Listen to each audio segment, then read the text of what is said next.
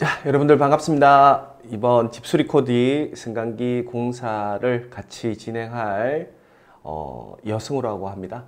어, 한국승강기대학교라고 있어요. 그 경남 거창에 거기서 교수를 하고 있고요. 그래서 여러분들하고 어, 즐겁게 한번 승강기 공사 굉장히 좀 어렵죠, 여러분들.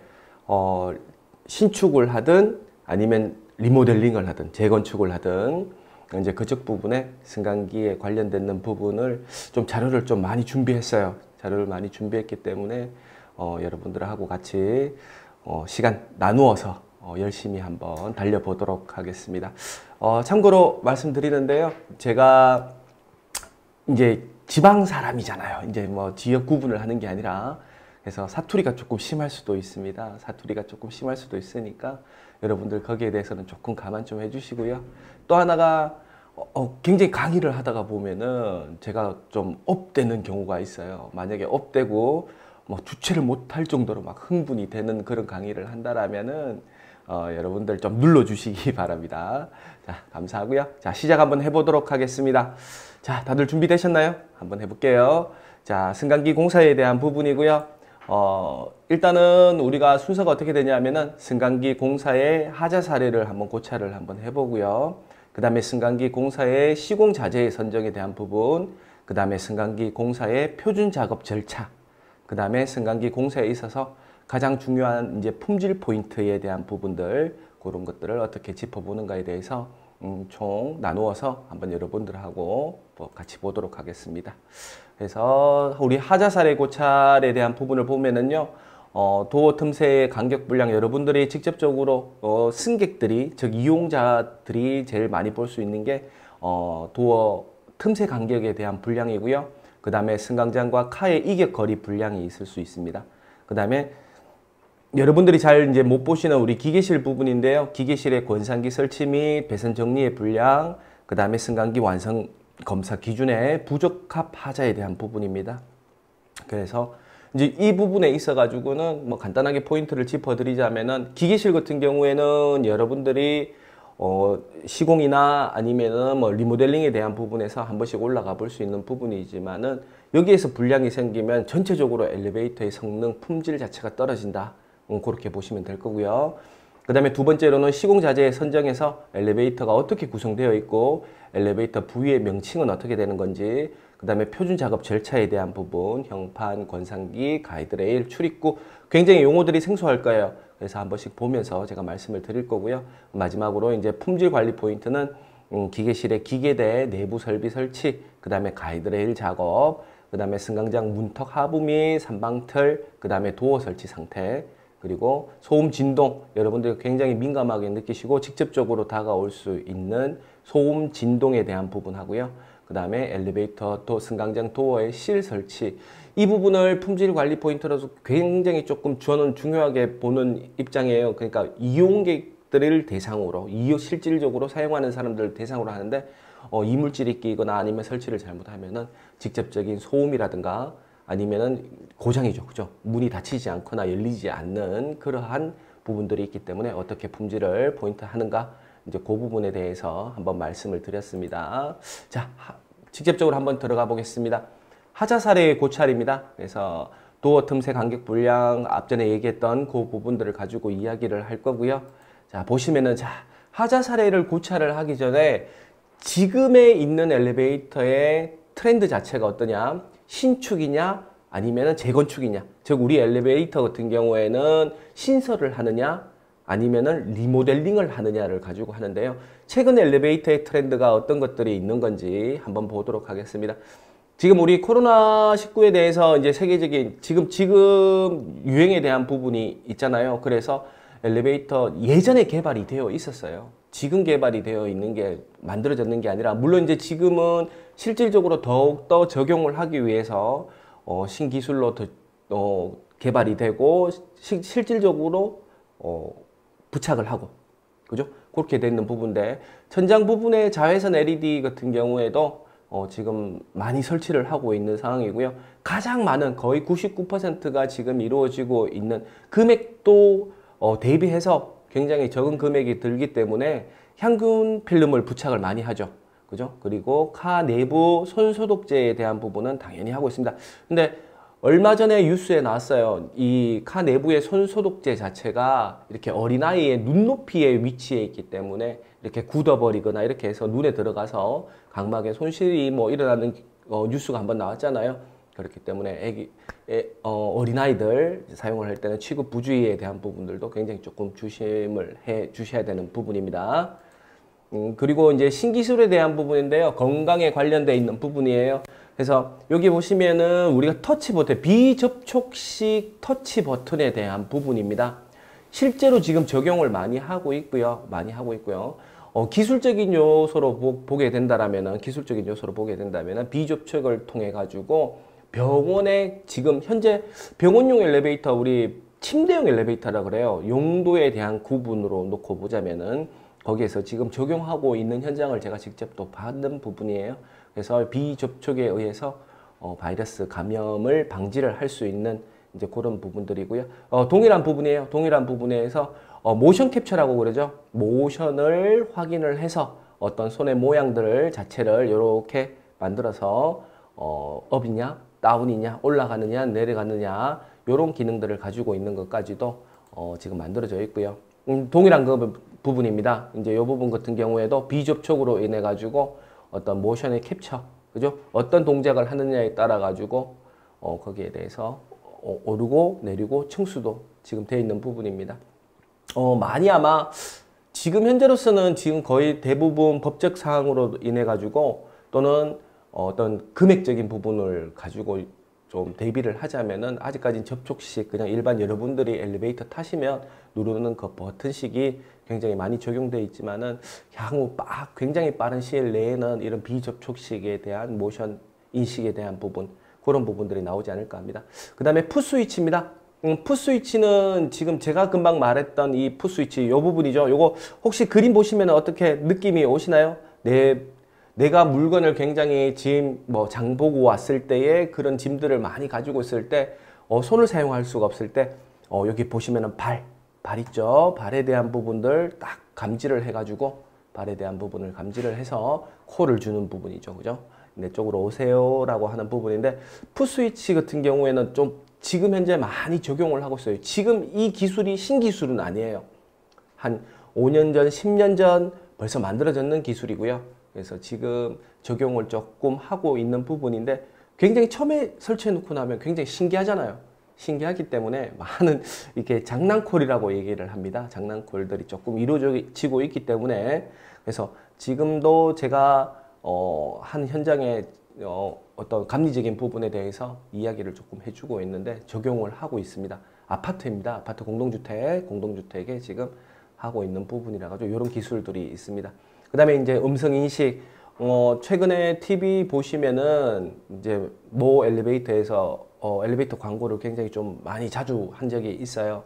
이제 그런 같은 경우에는 음성 인식에 대한 부분을 가지고 음, 이제는 언택트 어, 비접촉 이제 무조건 무조건 비접촉에 대한 부분들이 조금 더 어, 트렌드가 되지 않겠나라는 부분입니다. 그래서 얼굴 인식이라든가 모션 인식이라든가 이런 부분들을 가지고 어, 진행을 하고 있고요. 그 다음에 카드키의 보안 요소적인 부분들을 많이 위해서 어, 카드키 그리고 특층에만 갈 수 있도록 만들어주고 있는 부분입니다. 대류형 살 공기 이제 살균 시스템이에요. 여러분들 눈에는 보이지 않아요. 엘리베이터 위에 천장에 딱 보시면은 어, 대기업이라든가 아니면 뭐 중소기업이라든가 모든 부분들이 이게 향균 시스템에 공기 필터를 할 수 있는 그런 시스템들이 많이 되어 있고요. 여러분들이 지금 현재 시점에서 최첨단 시설이 아니라고 보시면은 위쪽 부분에 이렇게 공기가 어, 향, 뭐, 정화되고 있습니다. 뭐, 이런 부분들이 오면은 이제 필터의 기능을 가지고, 그죠? 필터의 기능을 가지고 하고 있어요. 근데 요 대류형 공기 음, 살균 시스템 같은 경우는 위쪽에 이제 시, 단순하게 이야기하면은 공, 우리 공기청정기 있죠? 공기청정기를 가지고 공기를 순환시키면서 살균을 하는 그런 부분들입니다. 어, 기술은 지금 개발이 되어 있고요. 그 다음에 공기청정에 대한 부분들 동일한 부분입니다. 동일한 부분들을 통해 가지고 공기청정에 대한 기술입니다. 그 다음에 공기정화 시스템 여기에 말, 말하고 있는 공기정화 시스템은 우리 엘리베이터 위쪽에 여러분들이 보이지 않는 가상부라고 이야기를 합니다. 가상부 쪽에 쉽게 얘기하면 에어컨, 그죠? 에어컨을 가, 지고 놓고 있는데 어, 냉방도 되고 그 다음에 난방도 되고 이런 부분들을 가지고 그 다음에 공 기까지도 필터링을 할 수 있는 그런 부분들입니다. 그 다음에 우리 향균 핸드레일입니다. 향균 핸드레일 같은 경우에는 뭐 이게 특정사의 제품뿐만 아니라 어 다른 부분들도 다 있고요. 구리를 이용을 해가지고 향균을 할 수 있는 부분들. 지금은 이 부분들이 그냥 어 떻게 얘기해야 되죠? 어 상용화 됐다고 얘기를 해야 되나요? 네, 상용화 되어 있어 가지고 많이 지금 적용을 하고 있는 부분입니다. 그리고 이제 여기서부터는 이제 안전에 대한 부분인데요. 우리 안전에 대한 어떠한 장치들이 지금 되어 있는가 한번 보시면 이제 특허적인 기술로 어, 이건 H사에서 지금 했는 부분인데요. 어린이들이 보면은 엘리베이터 타면은 굉장히 조금 이렇게 어, 문 앞에 도어 쪽에 가까이 가는 부분에 있어 가지고 어, 사고를 애초에 망, 방지를 하기 위해서 여기가 눈에 보이지 않는 레이가 나와요. 그죠? 그래서 거기 가지고 접근하면은 이제 경보에 대한 부분들이 나오고요. 그래서 어린아이들을 문 앞에서 문이 열릴 때 저는 이거 직접 봤어요. 뭐 어떻게 봤냐면 우리 어른들하고 어린이들하고 달라요. 지금 개념을 한번 이미지를 한번 생각 한번 해보세요. 도어를 이렇게 문이 열리는 도어가 있어요. 도어를 이렇게 어린애기가 이렇게 잡고 있잖아요. 어른들은 문이 탁 열리는 순간에 손을 떠요 이렇게 손을 떠요. 근데 어린이들은 안 그래요. 애기들은 애기들은 애기들은 그대로 손을 문 열리는 대로 그대로 해서 도어 틈새에 이렇게 끼게 되는 거예요. 제가 실제로 백화점에서 우리 가족들하고 같이 백화점 갔다가 이 상황을 목격을 하고 어, 순간적으로 뭐 조금 빨리 이렇게 대처를 했는 그런 경우가 있어가지고 이렇게 생각을 했습니다. 이게 어, 저게 뭐 어떤 소용이 있을까라고 생각을 하지만은 달라요. 어린애 애기들은 저도 직접 보니까 아 막 그 말이 맞더라고요. 애기들은 도어 잡아놓고 그대로 빨려들어요. 이렇게 손을 어른들처럼 손을 떼는 게 아니라 이러한 안전 장치들이 있고요. 이제 동일한 부분이고요. 동일한 그 앞전에 있는 부분을 가지고 한 번 더 저거 했는 거예요. 어, 발전시켰는 부분인데 레이가 있는 건 아닌데 우리 도어 쪽에 이렇게 빨간색으로 빨간색으로 이렇게 어, LED 등이 들어오는 거예요. 그래서 근접하지 마세요라는 경고를 주고요. 그리고 손이 끼었을 때 손이 끼었을 때 앞쪽에 이렇게 보시면 여기에 limit 우리 그러니까 전기적인 장치로 인해 가지고 스위치를 달아놨어요. 스위치를 달아놔 가지고 손이 딱 끼는 순간에 도어 자체가 정지하고 다시 반전될 수 있도록 이렇게 만들어 놨는 겁니다. 그래서 평소에는 백색으로 이렇게 보시면은 백색으로 전면 어, 점등이 되어 있다가 근접되거나 또는 끼거나 이렇게 될 경우에는 빨간색이 이렇게 나온다라는 거. 이런 장치들도 안전장치고요. 그 다음에 양방향 화상 통화를 통한 이제 승객이 이제 우리 smart mirror라 그러죠. smart mirror라고 해서 여러분들 휴게소 가보시면은 아마 어떤 휴게소 가면은 거울 화장실에서 이제 거울 딱 보시면 날씨도 뜨고 뭐 도로 상황 뭐 이런 것들이 있지 않습니까? 그것처럼 엘리베이터에서 엘리베이터가 고장 났을 때 어, 콜센터 종합방지센터 콜센터에서 지금은 음성으로만 그죠? 법적인 기준으로는 우리 음성으로만 이렇게 도움을 요청하고 고장이 났다라는 거를 가르쳐 주지만은 어, 실질적으로 어, 화상을 보면서 그렇게 할 수 있는 시스템 지금도 적용이 되어 있습니다. 그래서 여러분들 smart mirror가 금액이 굉장히 만만치 않아서 그렇지 지금도 가능한 부분입니다. 충분히 가능한 부분입니다. 그 다음 모바일 호출 시스템 어, 우리 smart city라 그러죠. 스마트 시, 시티라 그러죠. 그래서 모 아파트 같은 경우에는 우리 RFID 음, 휴대폰이라든가 아니면은 카드라든가 이런 것들을 해서 지하 주차장에 먼저 들어가요. 지하 주차를 타고 어, 자주식으로 지하 주차장에 들어간 상태에서 어, 우리가 현관 지하층에 이제 현관 문이 자동 문이 있지 않습니까? 자동 문과 엘리베이터 사이에 가면은 엘리베이터가 바로 콜이 되어 있는 이제 그런 부분으로 모바일 호출 시스템 어, 휴대폰 이제 뒤쪽에도 나오겠지만은 어떤 휴대폰이라든가 아니면 RFID 어, 근접 무선 방식이죠. 무선 센서 방식, 아, 무선 통신 방식 어, 그런 부분들을 이용을 해서 연동되어 가지고 하고 있습니다. 음, 굉장히 기술 많아졌어요. 그죠? 모바일 호출 시스템도 됩니다. 모바일 블루투스 어, 또 통신에 대한 그 방법에 하나 빠졌는데 또 가까운 우리 블루투스 휴대폰을 가지고 핸드폰을 가지고 블루투스를 켜놓고 된다면은 거기에 따라 가지고 인증을 통해 가지고 이렇게 움직일 수 있고 사용할 수 있는 부분들이 되어 있습니다. 그 다음에 음성 인식 어 지금도 많이 이게 아직까지는 음성에 대한 인식 부분 자체가 거의 한 90%까지는 올라왔다고 하더라고요. 하는데도 아직까지 오류적인 부분 듣는 부분에 있어 가지고 잠깐 오류가 생길 수가 있기 때문에 어, 간단한 대화 형식은 가능합니다. 그래서 음성으로 통해서 또는 영상을 통해서 그래서 어, 영상 같은 경우에는 벌써 10년 전이었습니다. 10년 전에 어, 국내 기술로 국내 기술로 우리 카메라를 가지고 CCTV를 가지고 어, 얼굴 인식에 대한 부분이 정확도가 100% 가까이 99.9% 가까이 되는 어, 그 부분까지도 국내 기술로 다 만들어졌는 거 물론 다른 나라에서도 여러, 나, 여러 나라에서도 있겠죠 있겠지만 우리나라 기술이 나왔다라는 거 한 10년 정도 가까이 다 돼가네요 그때 제가 어, 모 대학교 그 박사님하고 같이 어, 어, 연구를 진행하면서 아마 됐던 경우가 한 번 있습니다 그 다음에 로봇 연동 시스템입니다. 어, 이거는 제가 말하기가 굉장히 조금 조심스러운 부분이 있어요. 뭐냐면은 지금 어, 우리나라에서 어, 지금 특구 지정을 통해 가지고 모 지역에 음, 지금 이 로봇 연동 시스템, 로봇팔을 이용하고 로봇 연동 시스템을 이용을 해서 그래서 여러분들 그런 뉴스 많이 들으셨을 거예요. 이제는 앞으로 로봇이 여러분들 집 앞에 택배를 갖다, 놓, 갖다 놓는 그게 이뭐 굉장히 멀리 있는 게 아니에요. 굉장히 멀리 있는 게 아니라 지금 실시를 하고 있는 아파트도 있습니다. 아파트도 있는 부분이고요. 그래서 이걸 조금 더 대중화를 시키기 위해서 특구 지정에 대한 부분으로 많은 지금 밸리 조성이 되고 있고요. 만들어지고 있는 거예요. 그래서 언택트에 대한 부분, 비접촉에 대한 비대면에 대한 부분을 진행을 하고 있는 겁니다. 그래서 어, 인천공항이라고 인천국제공항 같은 경우에는 로봇 연동 시스템을 지금 하고 있는 부분이고요. 그 다음에 배달적인 부분. 이제 이게 엘리베이터하고 무슨 관계가 있느냐. 그죠? 엘리베이터하고 관계가 있는 이유 중에 하나가 로봇이 엘리베이터를 타서 여러분들 집까지 그러면 로봇 자체가 여러분들 집까지 있는 콜 자체가 있을 수도 있겠죠. 그죠? 그런 부분들이 있기 때문에 여기도 신기술의 엘리베이터 신기술의 한 부분입니다. 그래서 로봇 연동 시스템의 구성도까지 한번 나왔고요. 음, 동일한 부분입니다. 공동주택 적용 가능 로봇, 그죠? 여기에 대한 부분, 배달 앱 서비스 연계한 무인 배송 시스템까지 왜 이 얘기를 했냐면은 엘리베이터를 이용을 하기 때문에 그렇습니다. 그래서 이러한 요 특정한 업체에 대한 부분이고 자 이제 주거 시설에 대한 디자인입니다. 아마 요요 요 부분들도 여러분들이 굉장히 관심이 많을 거예요.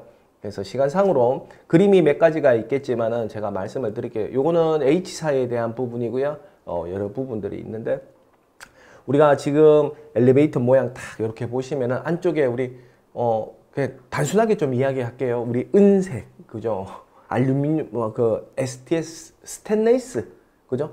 그래서 STS 304가 주를 이루고 있는 부분이고요. 모양에 따라서 우리 헤어라인 헤어라인이라고 이야기하고 물방울 무늬처럼 이렇게 나오고 또는 우리 아주 이쁘게 스크래치 났는 듯한 vibration vibration 모양들이 있는 부분이고요. 음, 그리고 HTM 중소기업에서 어, 개발을 해서 경도가 OH까지 나가는 HTM에 대한 HTM이 지금 여러분들 그림에 보시고 있는 이러한 색감들을 다 낼 수가 있는 부분이에요. 색감들을 낼 수가 있는 부분이기 때문에 요 요렇게 요 모양 자체를 보고 우리가 rendering이라고 그럽니다. 그래서 도어 쪽의 모습, 그 다음에 뒤쪽에 있는 모습, 그 다음에 handrail 자체가 3면이냐 2면이냐 그 다음에 승강장 쪽에 대한 모습 이런 것들까지 그죠? 이렇게 해서 다시 한번 예, 말씀을 드릴게요. 어, STS 304 super mirror mirror를 쓰시는 super가 요즘 polishing은 요즘은 거의 사용을 하지는 않아요. 그러니까 어떻게 이야기를 하냐면은 음, 조금 거친 느낌의 나는 게 이제 polishing에 대한 부분인데 그 부분이 아니라 이제 일반적인 mirror. 어, 단순하게 조금 이야기를 할게요. 우리 예전에 한 지금 리모델링을 준비하고 있는 한 20년 됐는 아파트 있죠? 거기 보면은 그냥 스테인레스잖아요. 그죠? 그래서 뒷면에 거울이 달려 있는 부분이고. 맞죠? 그 다음에 손잡이 있고 버튼 누르는 부분이 있고 근데 지금 엘리베이터들을 보면은 색감들이 굉장히 좋잖아요. 색감들이 요 이쪽에 한번 보시면 이렇게 골드, 골드의 느낌들이 굉장히 많이 나도록 하는 그죠? HTM에 대한 개념들이에요. HTM에. 그래서 어, 디자인 자체도 굉장히 좋아요. 디자인도 여러분들이 쪽 뒤에 가서 이제 한 번 더 말씀을 드리겠지만은 여러분들 보시게 되면은 어, 렌더링을 하실 때 렌더링을 하실 때 뭐 공동주택이라면은 우리 동대표라든가 주민들의 의견을 받아가지고 몇 가지에 가지고 몇 가지를 가지고 어, 선정을 하는 부분이죠. 그래서 어, 렌더링 엘리베이터를 리모델링 하는 공동주택이라면 공동주택이라면은 이 의장이라고 그래요. 카 내부의 엘리베이터 우리 여러분들 타시는 부분을 케이지와 카라고 이야기를 하는데요. 우리 승강기에서는 카라고 정의를 했어요. 카, 우리 자동차 카 있잖아요. 동일하게 카라고 정의를 했기 때문에 지금부터는 케이지라고는 말을 안 하고요. 카라고 이야기를 할게요. 그래서 이 카 안쪽에 카 모양 자체를 의장 자체를 어떤 모양으로 하는가 그래서 어, 굉장히 고민들을 많이 하세요. 너무 이뻐서 요 모양 해도 이쁘고 저 모양 해도 이쁘고 그래서 주민들 의견을 굉장히 많이 수렴을 하고 있고요. 굉장히 좀 고급적인 부분에 최근 트렌드 자체가 이제 골드 쪽으로 조금 많이 가고 있고요. 예전에는 공동주택도 부담스럽다. 그래서 어떤 고급 사, 어, 오피스텔이라든가 그런 부분들을 많이 사용을 하고 있지만 지금은 우리 그 공동주택에서도 골드 쪽으로도 많이 되어 있고요. 근데 스테인레스 어, 304를 쓰는 이유와 이 HTM을 쓰는 이유가 있고 하이그롯이라는 부분 자 다시 한번 정리해 드릴게요. STS 304 그 다음에 HTM high glossy 이렇게 되어 있는데 큰 부류로 놓고 보자면 이렇게 이렇게 세 가지가 있는데 high glossy 같은 경우에는 T사에서 개발했는 부분이고요. 그 다음에 HTM도 한 중소기업에서 만들었는 거지만 다른 업체에서도 이제 다 만들 수가 있는 부분이기 때문에 high glossy는 제가 조금 이렇게 특정 기업 거니까 이렇게 좀 배제하고요. 그래서 우리 스탠레스 304냐, HTM이냐, 그죠? HTM 같은 경우에 이런 모양, 골드의 모양을 내거나 이런 부분들은 모양들 같은 경우에는 어, 어쩔 수가 없어요. 이건 HTM을 사용을 해서 하는 부분이고요. 그 다음에 이런 식으로 스테인레스에 대한 부분들을 가지고 가고 있고 또 하나 여기 팁 하나 드리자면은요. 우리가 인승 자체가 인승에 대한 기준이 바뀌었어요. 어, 2019년, 2016, 2019년도 딱 적용이 딱 되면은요. 2019년도 3월, 6월 이전입니다. 2019년도 6월 이전에는 한 사람당의 무게 자체가 65kg이었어요. 기준이, 기준이. 근데 지금은 2019년도 6월 이후로부터는 한 사람당의 무게가 75kg으로 기준이 바뀌었어요.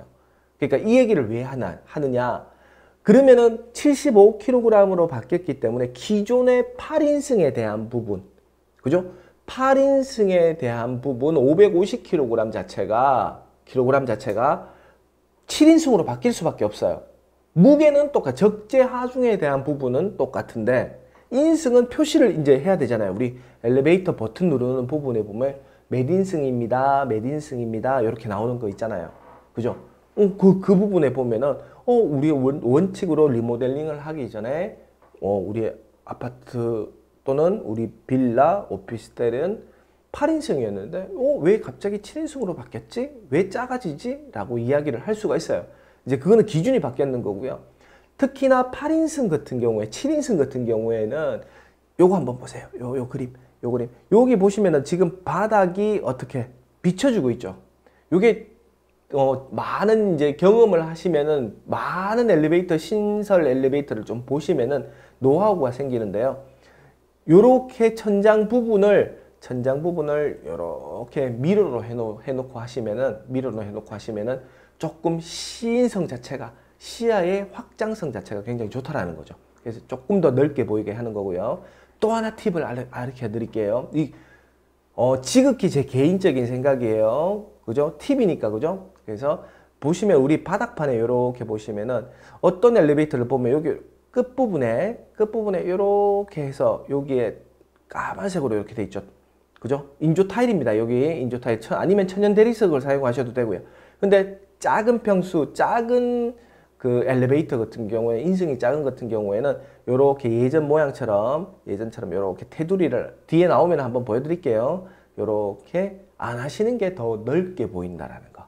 음, 그 부분 그래서 mirror를 천장에 mirror 우리 요 부분이 막판이라고 이야기하거든요. 요쪽 엘리베이터 도어 쪽에 있는 요 막판 막판 자체도 mirror를 이용을 해서 조금 더 엘리베이터가 높게 보일 수 있는 방법 중에 하나입니다. 그리고 또 하나 엘리베이터를 리모델링을 하시게 되면은 우리 이제 이 의장에 대해서 이야기를 하는 부분인데 어 건축의 승강장 승강로의 높이를 무조건 확인을 하고요. 지금은 car의 바닥에서부터 car의 바닥에서부터 위에 천장까지의 높이가 2100이에요. 2100. 그죠? 2100mm. 근데 지금은 엘리베이터의 승강로를 보고 이제 기술적인 용어지만 overhead 까지 보면은 overhead까지 가면 2500까지 거의 다 웬만하면은 높일 수가 있어요. 그래서 천장이 높아지는 거죠. 천장이 높아지는 거. 그렇게 해서 아무리 작은 7인승에 대한 부분이라도 조금 더 아, 리모델링을 하고 나서 넓어졌구나.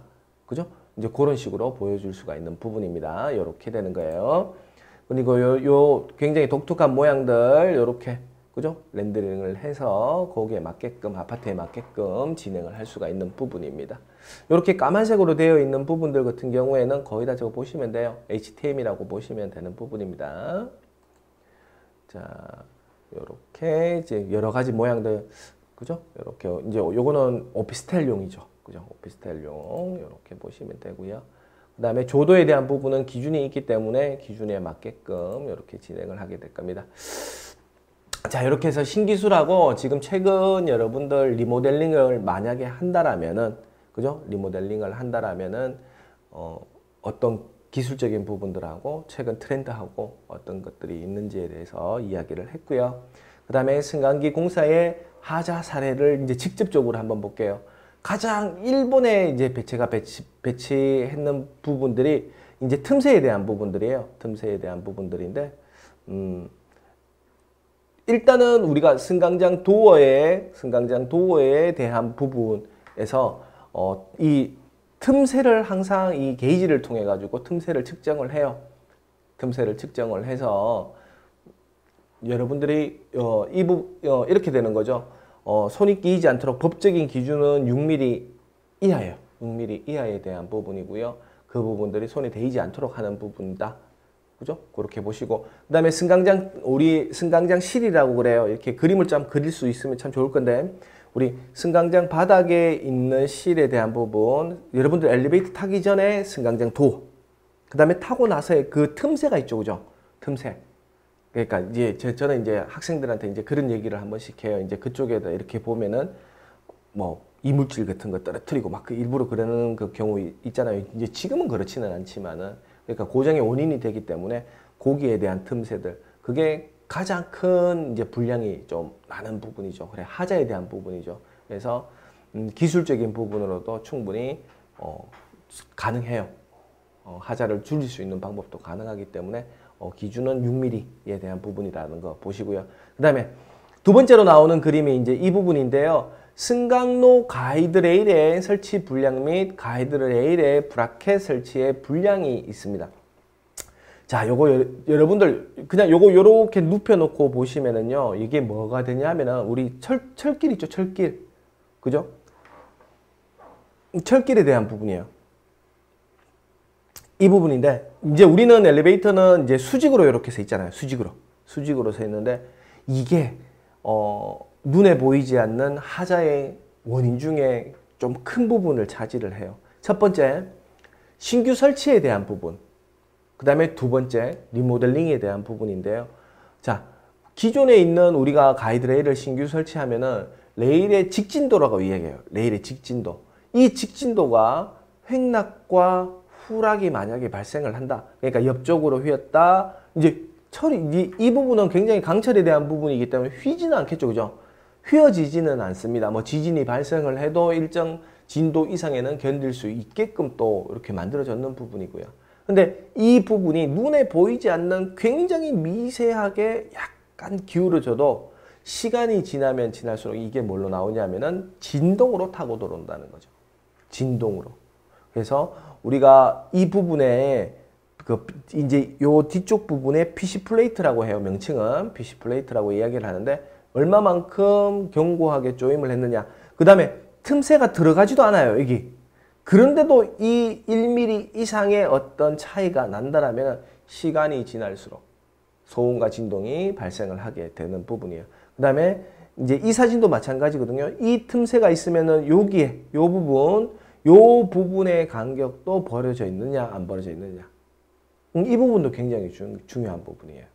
그 다음에 벽과의 이격거리 우리 요것도 만들어내는 거 하고 가이드레일 어, 우리가 T케이블이라고 해요. 여기 요 이쪽 부분이 가이드레일이고요. 아 다시 이쪽 부분이 이렇게 보시면 좀 넓게 돼 있네요. 그죠? 이렇게 얼마만큼 클립으로 잘 잡아 있는가 어, 그 부분도 그래서 진동 어, 엘리베이터는 움직이는 제품이잖아요. 그래서 그 진동을 얼마만큼 우리 승객들 카 내에 타고 있는 승객들이 안 들어오게 하느냐 들어오지 않게 하느냐 이제 그 기술이 굉장히 중요한 부분입니다. 그래서 이 부분은 우리가 정밀 장비가 필요해요. 우리 레일 직진도가 유럽에서 쓰는 거가 있고요. 최근에 개발되는 게 있고요.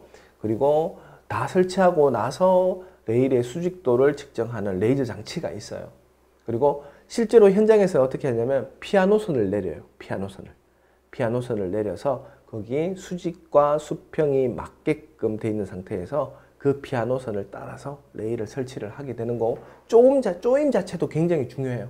조임도 이제, 이제 저만의 이제 노하우일 수도 있지만은 레일 자체를 레일은 기본적으로 우리가 K라는 단위를 써요. 그러니까 5K, 8K 그 K라는 단위가 뭐냐면 1m당 무게를 K라는 단위를 쓰고요. 우리 엘리베이터에 가이드레일은 5m씩 끊어서 팔아요. 속칭 말하는 제가 그렇게 얘기합니다. 5m씩 끊어서 팔고 왜? 왜 그러냐? 승강로에 반입을 하기 좋게 하기 위해서. 그러니까 너무 길어버리면은 옆에 승강로에 구멍을 뚫어야 돼요. 그죠? 이렇게 수직으로 이렇게 세울 수가 없잖아. 그래서 승강장을 통해 가지고 올려놓을 수 있는 부분이죠. 그래서 5m씩 꺼내서 파는데 5m씩 연결하는 이 PC 플레이트 이 부분 PC 플레이트에 대한 부분을 가지고 조립을 할 때 레일 두 개 연결하고 또는 레일 세 개 정도 연결하고 위쪽에서 약간씩 조임 자체를 다시 좀 해줘야 돼요. 조임 자체를 고려해야지만이 어, 이 레일의 직진도 자체를 보장을 할 수가 있는 거예요. 그리고 bracket이라는 게 뭐냐면은 이 레일은 공중에 붕 떠 있는 상태잖아요. 그래서 여기 요 모양을 가지고 bracket이라고 합니다. bracket, 자반, 레일 bracket. 그죠? 레일 브라켓의 설치 불량은 뭐가 있냐면은 조임 자체가 거의 안 돼요. 조임 자체가. 진동이 오기 때문에 이동을 하는 거기 때문에 얘가 풀려요. 그래서 유지보수 하시는 분들한테 레일 자체의 조임, 조임 자체를 조금 더 확인을 해달라. 그렇게 진행을 합니다. 그리고 우리 이제 제어반에 대한 부분인데요. 어, 뒤에 가면은 조금 더 큰 그림이 나올 거예요. 이게 승강 권상기에 대한 부분 기계대입니다. 기계대 1차 기계대, 2차 기계대, 권상기대. 그래서 여러분들 명칭은 이렇게 보시면 돼요. 설명하는 사람마다 조금 다, 달라요. 1차 기계대와 2차 기계대를 합쳐서 그냥 기계대라고 얘기하시는 분도 계시고 그 다음에 권상기대라는 부분도 있어요. 이렇게 하시는 분도 있고 저는 일단은 기준에 의해 가지고 어떤 건축법에 대한 기준에 의해서 1차 기계대, 2차 기계대 그리고 우리 모터 올라가는 거 있죠. 엘리베이터를 오르고 내리게 하는 권상기라고 얘기하는데 그죠? 그 부분 올라가는 3 이제 권상기대라고 얘기해요. 그래서 지금은 여기 보시면 여기 방진고무에 방진고무, 방진고무, 방진고무에 대한 부분을 가지고 1차 기계대에도 방진고무를 넣고요. 2차 기기에 대해도 방진고무, 즉 권상기대하고 들어가잖아요. 그 다음에 권상기 쪽에도, 그죠? 반상, 그 방진고무를 넣어가지고, 어, 권상기에서 회전을 하는 그 진동 자체가 어디 하거든요? 여기가 벽이에요, 벽. 여러분들 기계실 벽. 벽. 기계실 벽 쪽을 충분한 법적 기준에 의해서 이격거리를 내야 돼요. 또는 시방 기준에 의해서 해야 돼요. 여기서 질문이 있을 거예요. 질문이 있습니다. 우리 아파트는 우리 아파트는 이 기계대 자체가 벽 쪽에 들어가 있던데요. 거기에서 미장 마감을 했던데요. 맞아요. 그래서 뭐냐면 건축 구조 자체가 우리 승강로를 최상부를 헌지보라고 해요. 헌지보. 헌집으로 이용을 하느냐 아니면 주보 자체를 보에 있는 부분을 가지고 기계대를 하느냐 그래서 예전 같은 경우에도 헌지보를 사용하는 데가 많아요. 제가 지금 말씀드리는 예전의 기준은 20년의 기준을 얘기를 하는 거예요. 왜? 20년 정도를 가지고 리모델링을 하느냐 아느냐 아니면 지금 이 시점에서 신축을 하는 그 부분이냐 신축하는 부분에 있어 가지고도 설계 도면을 여러분들이 만약에 한번 보시게 된다라면 아 기계실만큼은 위에 헌지보를 해 주십시오. 그죠? 헌지보를 해서 그 기계대가 하중에 대한 분산 자체 걸리는 부분이 어, 기계실 그 벽 쪽에 주보에 닿지 않도록 해 주십시오.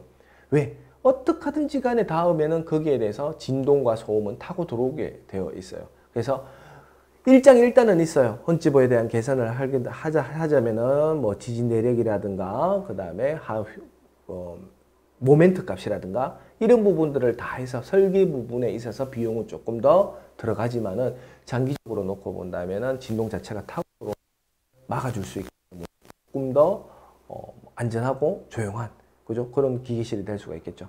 그리고 뭐 제반의 이제 배선 불량 같은 경우에는 요즘은 뭐 하네스로 그죠 커넥터 하네스로 다 되어 있기 때문에 딱딱 연결이 되는 부분입니다. 자, 이제 완성 검사에 대해서 기준 부적합에 대한 하자입니다. 이제 검사가 있어요. 여러분들 검사에 대한 내용을 아셔야 돼요. 이제 법적인 검사가 있습니다. 법적인 검사. 자, 최초의 검사. 우리가 신축이다. 그러면 엘리베이터를 다 설치를 해서 그러면 완성 검사를 받아요. 어디서? 승강기 안전관리공단에서 나와서 법적으로 완성 검사를 해요. 완성 검사를 할 때 여기에서 부적합이 나온다. 그죠? 그렇게 된다면 거기에 대해서 뭐 운행 중지, 그죠? 그다음 아니면 조건부 이런 부분들이 나오는데 어, 여기 보시면은 지금은 2대1 로핑 이제 2대1 로핑 조금 더 이렇게 좀 디테일하게 설명을 조금 해, 해 드리자면은 음, 예전에는 우리가 유도기 그 권상기에 대한 부분이에요. 권상기 부분에 있어 가지고 유도기를 굉장히 많이 사, 사용을 했어. 근데 지금은 동기기를 좀 많이 적용하죠. 왜? 단순해요. 기술이 발전을 해서 금액이 싸졌기 때문에. 그러면 동기기를 사용을 한다면은 속도 및 우리 인원, 인원 에 대한 부분, 그 다음에 승차감에 대한 부분 때문에 2대1 roping이라는 걸 써요. 이제 roping에 대한 부분도 car가 있고요. 아, 그러면 이거부터 이제 이야기를 한번 해볼게요. 여러분들 이거 뭐 중요하진 않지만 그래도 아셔야 되는 부분 중에 하나일 거예요. 여러분들이 코디네이터를 하시면서 집수리 과정을 이제 하시면서 이제 얘기 부분인데 우리가 엘리베이터를 아주 두레박식으로 이렇게 감아서 올리는 거 있죠. 그죠? 감아서 올리는 걸 권동식이라고 이야기를 하는데 명칭이 바뀌었어요. 명칭이 어, 우리 승강기에서는 포지티브식으로 바뀌었어요. 권동식이 아니라 포지티브식으로 바뀌었고요. 무슨 말인지 알죠? 그러면 모터의 힘을 하나 가지고 어떻게 하든지 간에 이걸 그냥 감아서 로프를 감아서 올리고 로프를 감아서 내리는 풀어서 내리는 그죠? 이 부분이 있고 그 다음에 트랙션식이라고 해가지고 변, 변인식이라고 그래요. 카의 무게와 반대쪽에 이렇게 도르래가 있으면 쉬브가 있으면 반대쪽에 무게를 이 무게와 이 무게가 거의 얼추 비슷하도록 그러면 어떻게 돼요? 오르고 내릴 때 무게들이 있기 때문에 어때요? 짝 조금 더 동력 소모가 적어질 수 있겠죠. 그죠? 그래서 이 부분인데 이 부분을 car 쪽에다가 하나 도르래를 더 달아요. 그래서 벽 쪽에 받고 한 바퀴 돌려서 카운터에도 하나 더. 이게 2대1 roping이라는 거예요. 2대1 roping의 장점이 뭐냐 하면은 일단은 견인력 자체가 굉장히 좋아요.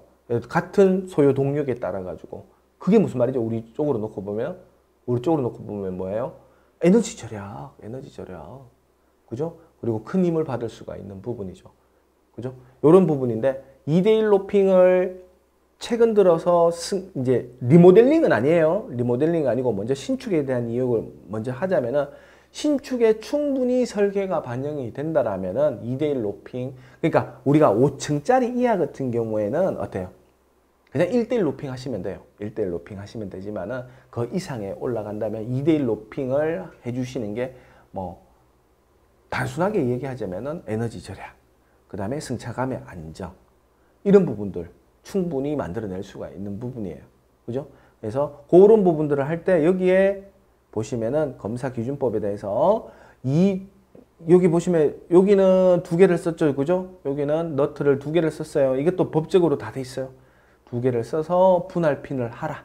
이렇게 되어 있고요. 요거는 단순한 부분이지만은 조도의 기계실에 여기 기계실, 기계실에 대해서 이 양중고리와 기계실의 조명 자체가 너무 가까이 있는 거예요. 그러면 양중을 할 때 고장이 났을 때 양중을 할 때 조명 자체의 간섭으로 인해 가지고 그죠? 유지 보수를 할 때 굉장히 좀 힘이 든다는 이제 그런 부분들입니다. 그래서 이 간섭 이것도 설계를 할 때 여러분들이 음 우리 설계하시는 분들이 이걸 굉장히 좀 많이 간과를 하고 있어요. 좀 옆으로 조금 빼야 되는 부분인데 설계를 할 때 왜냐 건축 도면하고 전기 도면하고 같이 봐야 되거든요. 우리가 현장에서 말하는 엎친다고 그러죠. 도면을 엎쳐서 봐야 되는 부분인데 이게 한 번이라도 실수를 해버리면 이런 부분이 있어가지고 검사 지적이 불량이 나와요. 그럼 또 다시 돈이 들어가야 되는 부분이고 조도 확보가 안 되는 부분이고 그죠? 이런 부분이라는 거 말씀드릴게요. 자 이제 시공 자재의 선정입니다. 앞에까지는 굉장히 중요한 부분들까지도 다 봤고요. 이제 여기서 엘리베이터의 구성하고 엘리베이터 부위별 명칭에 대한 부분을 한번 보도록 할게요. 자, 재미있으신지 모르겠네요. 한번 해볼게요. 자, 여러분들 기계실입니다. 기계실. 먼저 기계실. 기계실에 딱 보시면은 이렇게 구동부에 대한 부분이 있습니다. 그래서 구동부가 있는데 자 볼게요. 우리 요 부분 있죠. 이렇게 되는 자, 요게 2차 기계대예요. 지금 표시가 잘 안 나올지 모르겠어요. 요게 이 어, 그러면 당신 1차 기계대 어디 있어? 여기 있습니다. 여기 1차 기계대. 요 부분. 요 부분. 이 부분은 뭐냐면은 우리가 저걸로 하는 거예요. 무근이라 그러죠. 무근 즉 신도 콘크리트를 가지고 무근을 치는데 무근을 가지고 땅 속에 이렇게 들어가 있는 거예요. 요게 1차 기계대 요, 요, 여기까지가 2차 기계대.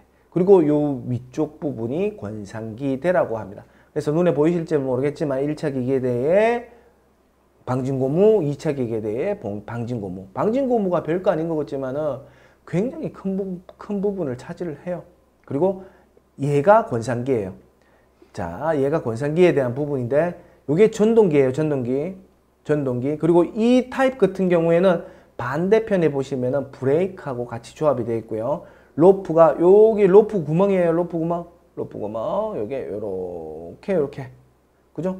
들어가고 올라오고. 요게 2대1 roping이거든요. 이렇게 되는 거예요. 그래서 이렇게 해서 로프가 여기에 deflect sheave가 있습니다. 보조 sheave라고 해 가지고 도로래 해가지고 이 견인비를 맞춰 주는 거예요. 견인비를 맞춰 줘서 이렇게 거, 아니죠. 권, 권인비가 아니라 권부각을 맞춰 주는 거죠. 권부각. 권부각을 맞춰. 여러분도 권부각 단순하게 생각하시면 돼요. 굉장히 힘들죠. 이거 손으로 이쪽에서 잡아. 그죠? 근데 이렇게 약간 이렇게 각이 져 있으면 이렇게 조금 더 쉬운 부분인데 여기에 도로래를 한 개 더 놓고 한다면은 조금 더 쉬워지겠죠. 그죠? 그래서 그 부분이고요. 그 다음에 요거 이제 이쪽 부분은 이제 카 내부예요. 카 내부. 이제 요거 같은 경우에는 우리가 완성 검사를 받고요. 완성 검사를 받고 지금 뭐 쉽게 얘기하면 공사용으로 지금 사용을 하고 있는 부분이에요. 공사용으로 사용하고 있기 때문에 보양을 하죠. 그죠? 보양을 해가 이렇게 놓고 있습니다. 그래서 승객용과 비상용 정원에 따라 크기는 결정이 되는 부분이고요. 이제 승강장입니다. 승강장에 보시면 요거 비상용이라고 표시가 되어 있는 부분이고요. 자, 보세요. 명칭을 한번 얘기해 드릴게요. 자, 이 부분이 잠이에요. 잠. 잠. 요렇게. 요, 요, 요 보이시는 요 부분 있죠? 요 부분. 반대편에도 있겠죠? 잠에 대한 부분인데 이게 뭐다? 광폭잠이라고 해요. 여러분들 아파트 가시면 2층 이상 보면은 요거보다는 요렇게 짧게 돼 있을 게요. 짧게 요렇게 요것도 안 나와 있을 거예요. 그죠? 그게 뭐냐면 쪽잠이라고 이야기를 합니다. 잠. 잠에 대한 부분. 그리고 이쪽에 타일 작업이 들어가겠죠. 지금 어저께였어요. 연락이 시공사 측에서 연락이 왔는데 어, 수입 타일이래요. 수입 타일인데 빨리 발주를 조금 내야 되는데 이 잠하고 타일을 먼저 바르고 잠을 설치를 할 수 없겠느냐? 가능은 해요. 근데 제 개인적인 생각으로 모양은 굉장히 조금 보기가 싫어질 거예요. 어, 뭐 여러 가지 사유가 있지만 이 그 뭐 그림상으로 그려서 이야기는 하고 싶지만은 그렇게 되는 부분입니다. 이렇게 해서 어, 여러분들 잠에 대한 부분도 여러분들이 하실 때요. 반드시 신경을 좀 써주셔야 되는 부분이 있어요. 여러분들이 리모델링을 최근에 이제 공동주택에 리모델링을 하게 되면은 1층에는 웬만하면 다 타일 작업을 다 해요. 기준층이라고 그러죠. 1층. 1층에는 타일 작업을 다 해요. 2층부터는 안 해요. 어떻게 보면 리모델링을 해놓고 얼마만큼 이쁘게 되어 있는가. 이제 그 부분을 이야기를 하는 거니까. 근데 반드시 광폭 잠이 다 설치되어 있는 상황에서 타일 작업이 이루어져야 되지. 어떤 타일이 먼저 하고 하면 왜 안 되느냐 이게 단순해요. 이 광폭잠 잠 자체가 제작해서 올 때 현장에서 제작 아닙니다. 치수를 맞춰서 제작해가 오는 부분인데 그냥 늘어나요. 늘어나. 늘어나고 타일이 이쪽에 딱 들어가는 부분이라 가지고 이렇게 들어가는 부분이라 가지고 개인적으로는 굉장히 모양이 안 좋게 보입니다. 안 좋게 보이기 때문에 어떤 순서는 있다. 공정에 대한 부분에 순서는 있다, 있다라고 생각을 해요. 그래서 광폭잠이 나는 먼저다. 이런 말씀을 좀 드리고 싶고요. 그리고 요게 승강장에 대한 부분입니다. 이렇게 진행되고요. 그 다음에 제어반의 기계실을 이제 하나하나 봐야 될 것 같아요. 음, 기계실에 하나하나 봐야 되는데, 음, 제어반. 제어반은 여러분들이 크게 신경 쓸 거고. 자, 제어반의 얘기가 나왔으니까 제가 이런 말씀을 드릴게요. 지금 이 시점에서요. 이 시점에서 성능은 엘리베이터의 성능은 제가 감히 이런 말씀을 드립니다. 감히 이런 말씀을 드려요. 성능은 대기업이나 뭐 메이커사나 아니면 중소기업이나 어느 정도 중소기업이 이 메이커사를 많이 따라왔어요. 많이 많이 따라왔어요. 그래서 전체적인 성능은 비슷해졌다. 제가 좀 위험한 발언을 하는가요? 물론 이제 거기에 따라서 서비스라든가 다른 디테일한 내부 세부적인 사항들에 대해서는 아직까지 대, 대기업이 조금은 더 낫다고 보지만은 성능에 대해서는 거의 대동소이하다. 그럼 어디서 차, 차이가 나느냐? 우리 엘리베이터는 약 5만 개 이상의 부품을 가지고 자동차하고 똑같은 거예요. 그 부품을 가지고 일일이 조립을 해서 또는 조립했는 부분들을 또다시 현장에 갖고 와서 설치를 하는 부분이잖아요. 그래서 성능은 비슷하지만은 이제는 품질, 설치하는 사람들의 품질은 설치하는 사람에 따라서 달라질 수 있다. 이제 그런 부분들이고요. 그리고 이 부분을 잠깐 말씀을 드릴게요. 제어반은 우리 여러분들 우리가 일반인들이 실 이제 이렇게 얘기할게요. 발주자 또는 관리자가 보더라도 뭐가 뭔지 몰라요. 그죠? 뭐가 뭔지 모르기 때문에 시험 성적서에 대한 부분을 가지고 그죠? 그리고 어, 법적인 검사에 보면은 무결점이라고 있어요. 무결점, 무결점에 대한 부분으로 설계가 되어 있는지 없는지 무결점 안전성이라고 이야기를 합니다. 그래서 이런 부분들로 설계가 돼야 되는 부분이고요. 그 다음에 우리가 명칭이 하나 바뀌었습니다. 아마 지금 이 강의를 듣고 계시는 분들 중에 아마 있을 수 있을지도 모르겠지만은 여기 보시면은 어, 뒤쪽 부분에 아 여기 있다. 우리 조속기 속도를 감지하는 조속기라고 이야기를 해요. 근데 이 조속기가 명칭이 과속 조절기로 최근에 바뀌었습니다. 2019년 6월부터 바뀌었습니다. 그래서 과속 조절기라고 명칭을 해주면 되겠고요. 권상기 이렇게 권상기로 이루어져 있습니다. 그래서 얘는 용량이 굉장히 큰 거예요. 용량이 굉장히 큰 부분이다. 그렇게 말씀을 드리고 싶네요. 이번 시간에는 여기까지 할 건데요. 약 한 이 시간이 조금 더 몇 분 정도 남았는 것 같은데 어, 최근 트렌드 뭐 간단하게 이야기를 해, 드리자면 제어반이 굉장히 작아졌어요. 성능은 굉장히 좋아지고 제어반도 굉장히 작아졌는 부분이 있고요. 그 다음에 권상기에 우리 전동기, 전동기도 동기기를 사용을 하기 때문에 동기기를 사용하기 때문에 크기도 굉장히 작아졌습니다. 그, 그 대신에 굉장히 큰 어, 용량을 내고요. 토크를 낸다고 얘기를 해야 되겠죠. 그 다음에 인버터의 기술도 굉장히 발전이 돼서 어떻게 이렇게 말씀을 드릴까요? 어, 에너지 절약형에 대한 우리 인버터도 많이 나왔습니다. 그래서 기계적인 부분 또는 전기적인 부분 제어반 자체가 음, 요 그림으로 잠깐 이야기하고 제가 말씀을 드릴게요. 이렇게 예전에는 제어반 크기가 이만큼 했어요. 제가 말하는 예전은 얼마 20년 정도 됐는 거 얘기하는 겁니다. 이렇게 되어 있고요. 최근은 요 정도 이렇게 작아졌다라는 것을 말씀드리고 싶네요. 자, 보도록 하겠습니다. 승강로예요. 아마 이 부분을 이렇게 보시는 분들은 아마 처음이실 거예요. 그죠? 여러분들 아마 일반인들은 처음이라고 저는 분명히 생각하고 있고요. 음, 이렇게 피트에서 우리가 이제 지금 이 사진을 제가 찍었는 거는 카 상부예요. 카 상부. 카 상부에서 우리가 위쪽으로 지금 바라보는 거고요. 즉 우리가 카에 이제 저는 위쪽에서 탔는 거죠. 위쪽에서 타서 찍었는 부분인데 이쪽 부분이 가이드레일. 그죠? 가이드레일. 그 다음에 각각의 층수. 음, 여기 14층이라는 이런 숫자가 혹시 보이시나요? 이게 법적으로 우리가 뒤쪽 부분에 이제 카 승강로에 타서 어, 또 승강장 도의 뒤쪽 부분에 몇 층 몇 층입니다 라고 이렇게 표시를 다 해주도록 법적으로 지금 되어 있어요. 법적으로 되어 있는 거고요. 이제 이 부분은 이제 승강로의 완전히 최상부죠.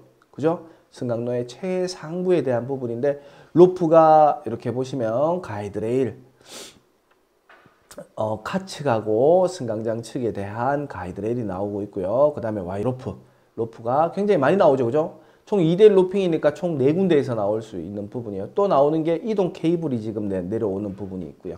그죠? 이렇게 해서 허, 제가 헌지보라고 말씀을 드렸잖아요. 바로 헌지보가 이 부분이에요. 이 부분. 이게 별거 아닌 것 같은데 구조상으로 이렇게 만들어놨는 게 이게 헌지보예요. 그래서 여기 위쪽에 보시면은 이제 아래 승강장의 승강로의 승강로의 최 윗부분이지만은 저는 이제 그림이 그려지는 거죠. 어디가 어떻게 되어 있는지. 그러면 요렇게 지금 되어 있는 거예요. 이렇게. 기계실에 자 보세요.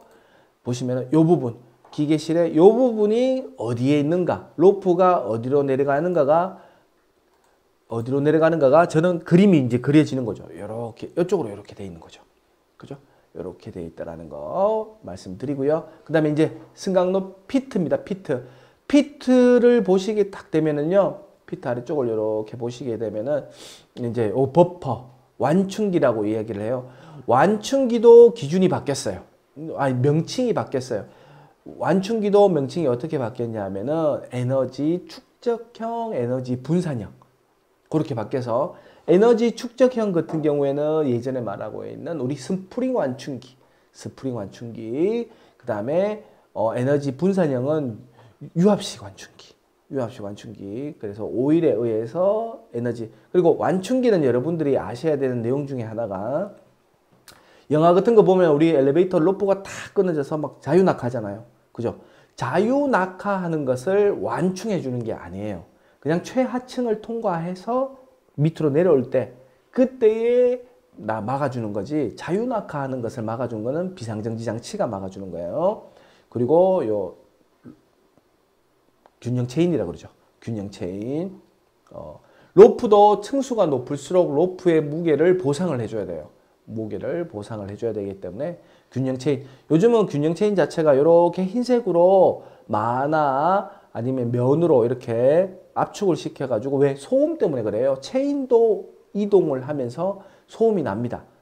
그죠? 그 부분을 막아주는 거고요. 그 다음에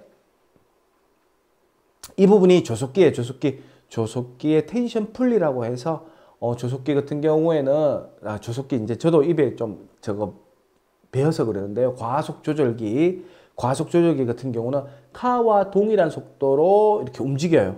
옆에 카 쪽에서 이렇게 잡아주는 거죠. 잡아줘서 같이 움직여서 엘리베이터 자체가 어떠한 이유에 의해서 떨어지는 그죠? 1.3배 속도 정격 속도의 1.3배가 되면은 브레이크를 잡아주세요. 그 다음에 1.4배가 되면은 비상정지 장치를 잡아주세요라고 해서 로프를 캐치시키는 장치입니다. 이렇게 구성이 되고요. 그 다음에 car 내부의 구조, 구조도입니다. car 내부를 보시게 되면은 우리가 요 부분을 indicator 우리 정식 명칭으로 하면은 indicate라고 하고요. 현장에서는 현장에서는 여러분들한테 아마 현장 시공하시는 분들이 OPB라고 얘기를 할 거예요. OPB, OPB라고 얘기하지만은 정식 명칭은 indicate라고 이야기를 합니다. 버튼 누르는 것까지 다 포함해서 이 부분을 indicate라고 하는 부분이고요. 층수가 나와야 되고요. 그 다음에 이쪽 부분에 정격 하중, 그죠? 정격 하중, 적재 하중 그 부분 나와야 되고 속도 표시까지 해줘야 되는 부분입니다. 그래서 car 자체를 이렇게 딱 놓고 보면은 도면상으로 놓고 보면은 이게 출입문이에요. 이렇게 열리는 부분이에요. 요거 두 줄이 뭐냐 하면은요, 여러분들 요거 두 줄이 뭐냐면은 우리 잠시만요 하고 갈 때 문이 닫힐 때 잠시만요 하고 손을 탁 치면은 문이 반전되잖아요. 그죠? safety shoe. safety shoe라고 하는데 지금은 법적으로 어떻게 돼 있냐면은 safety shoe와 shoe 걸리는 shoe와 ray로 그죠? 광전 beam으로 같이 되어 있, 도록 되어 있습니다. 이거 왜 이렇게 됐어요? 이슈가 되는 거 뭐예요? 이슈가 되는 거. 막아줄 수 있는 것 중에 하나가 우리 강아지. 애완견 있죠 애완견. 애완견이 엘리베이터 어떻게 보면 주인은 카 안에 들어가 있고 그냥 애완동물은 바깥쪽에 있는데 문이 닫혀버렸어. 근데 이 목줄 굉장히 가늘죠? 그죠? 굉장히 가늘죠? 그게 슈에 의해서 딱 해도 감지가 안 되는 경우가 있, 있었잖아요. 그죠? 그걸 레이를 설치를 하면은 그죠? 어떤 레이의 반전이 안 된다. 저 저, 저, 반사가 안 된다면은 바로 반전이 문이 열릴 수 있도록 그렇게 만들어낸 겁니다. 그렇게 지금 되어 있고요. 그 다음에 문을 열어주는 조작반이 있고요. 카에 대한 천장이 있고 카 벽이 있습니다. 그죠? 이렇게 되어 있고요. 에이프런 앞치마라 그러죠. 앞치마. 에이프런 앞치마에 대해서 이제 앞치마도 이제 안전에 관련되는 부분이에요. 카가 중간층에 중간층에 딱 걸쳐져 있을 때 사람이 어 대기하고 있으면은 구출이 될 때까지 대기하고 있으면은 제일 좋은 부분이지만은 강제적으로 탈출할 때 승강로로 통해서 떨어지는 것을 방지하기 위해서 에이프런이 되어 있는 부분입니다. 그 다음에 승강장입니다. 승강장에 승강장이에요. 금방 앞쪽 부분은 우리가 카의 내부였고요. 승강장에도 위치 표시기가 달려 있어야 되는 부분입니다. 그죠? 위치 표시기가 달려 있어야 되는 부분이고요.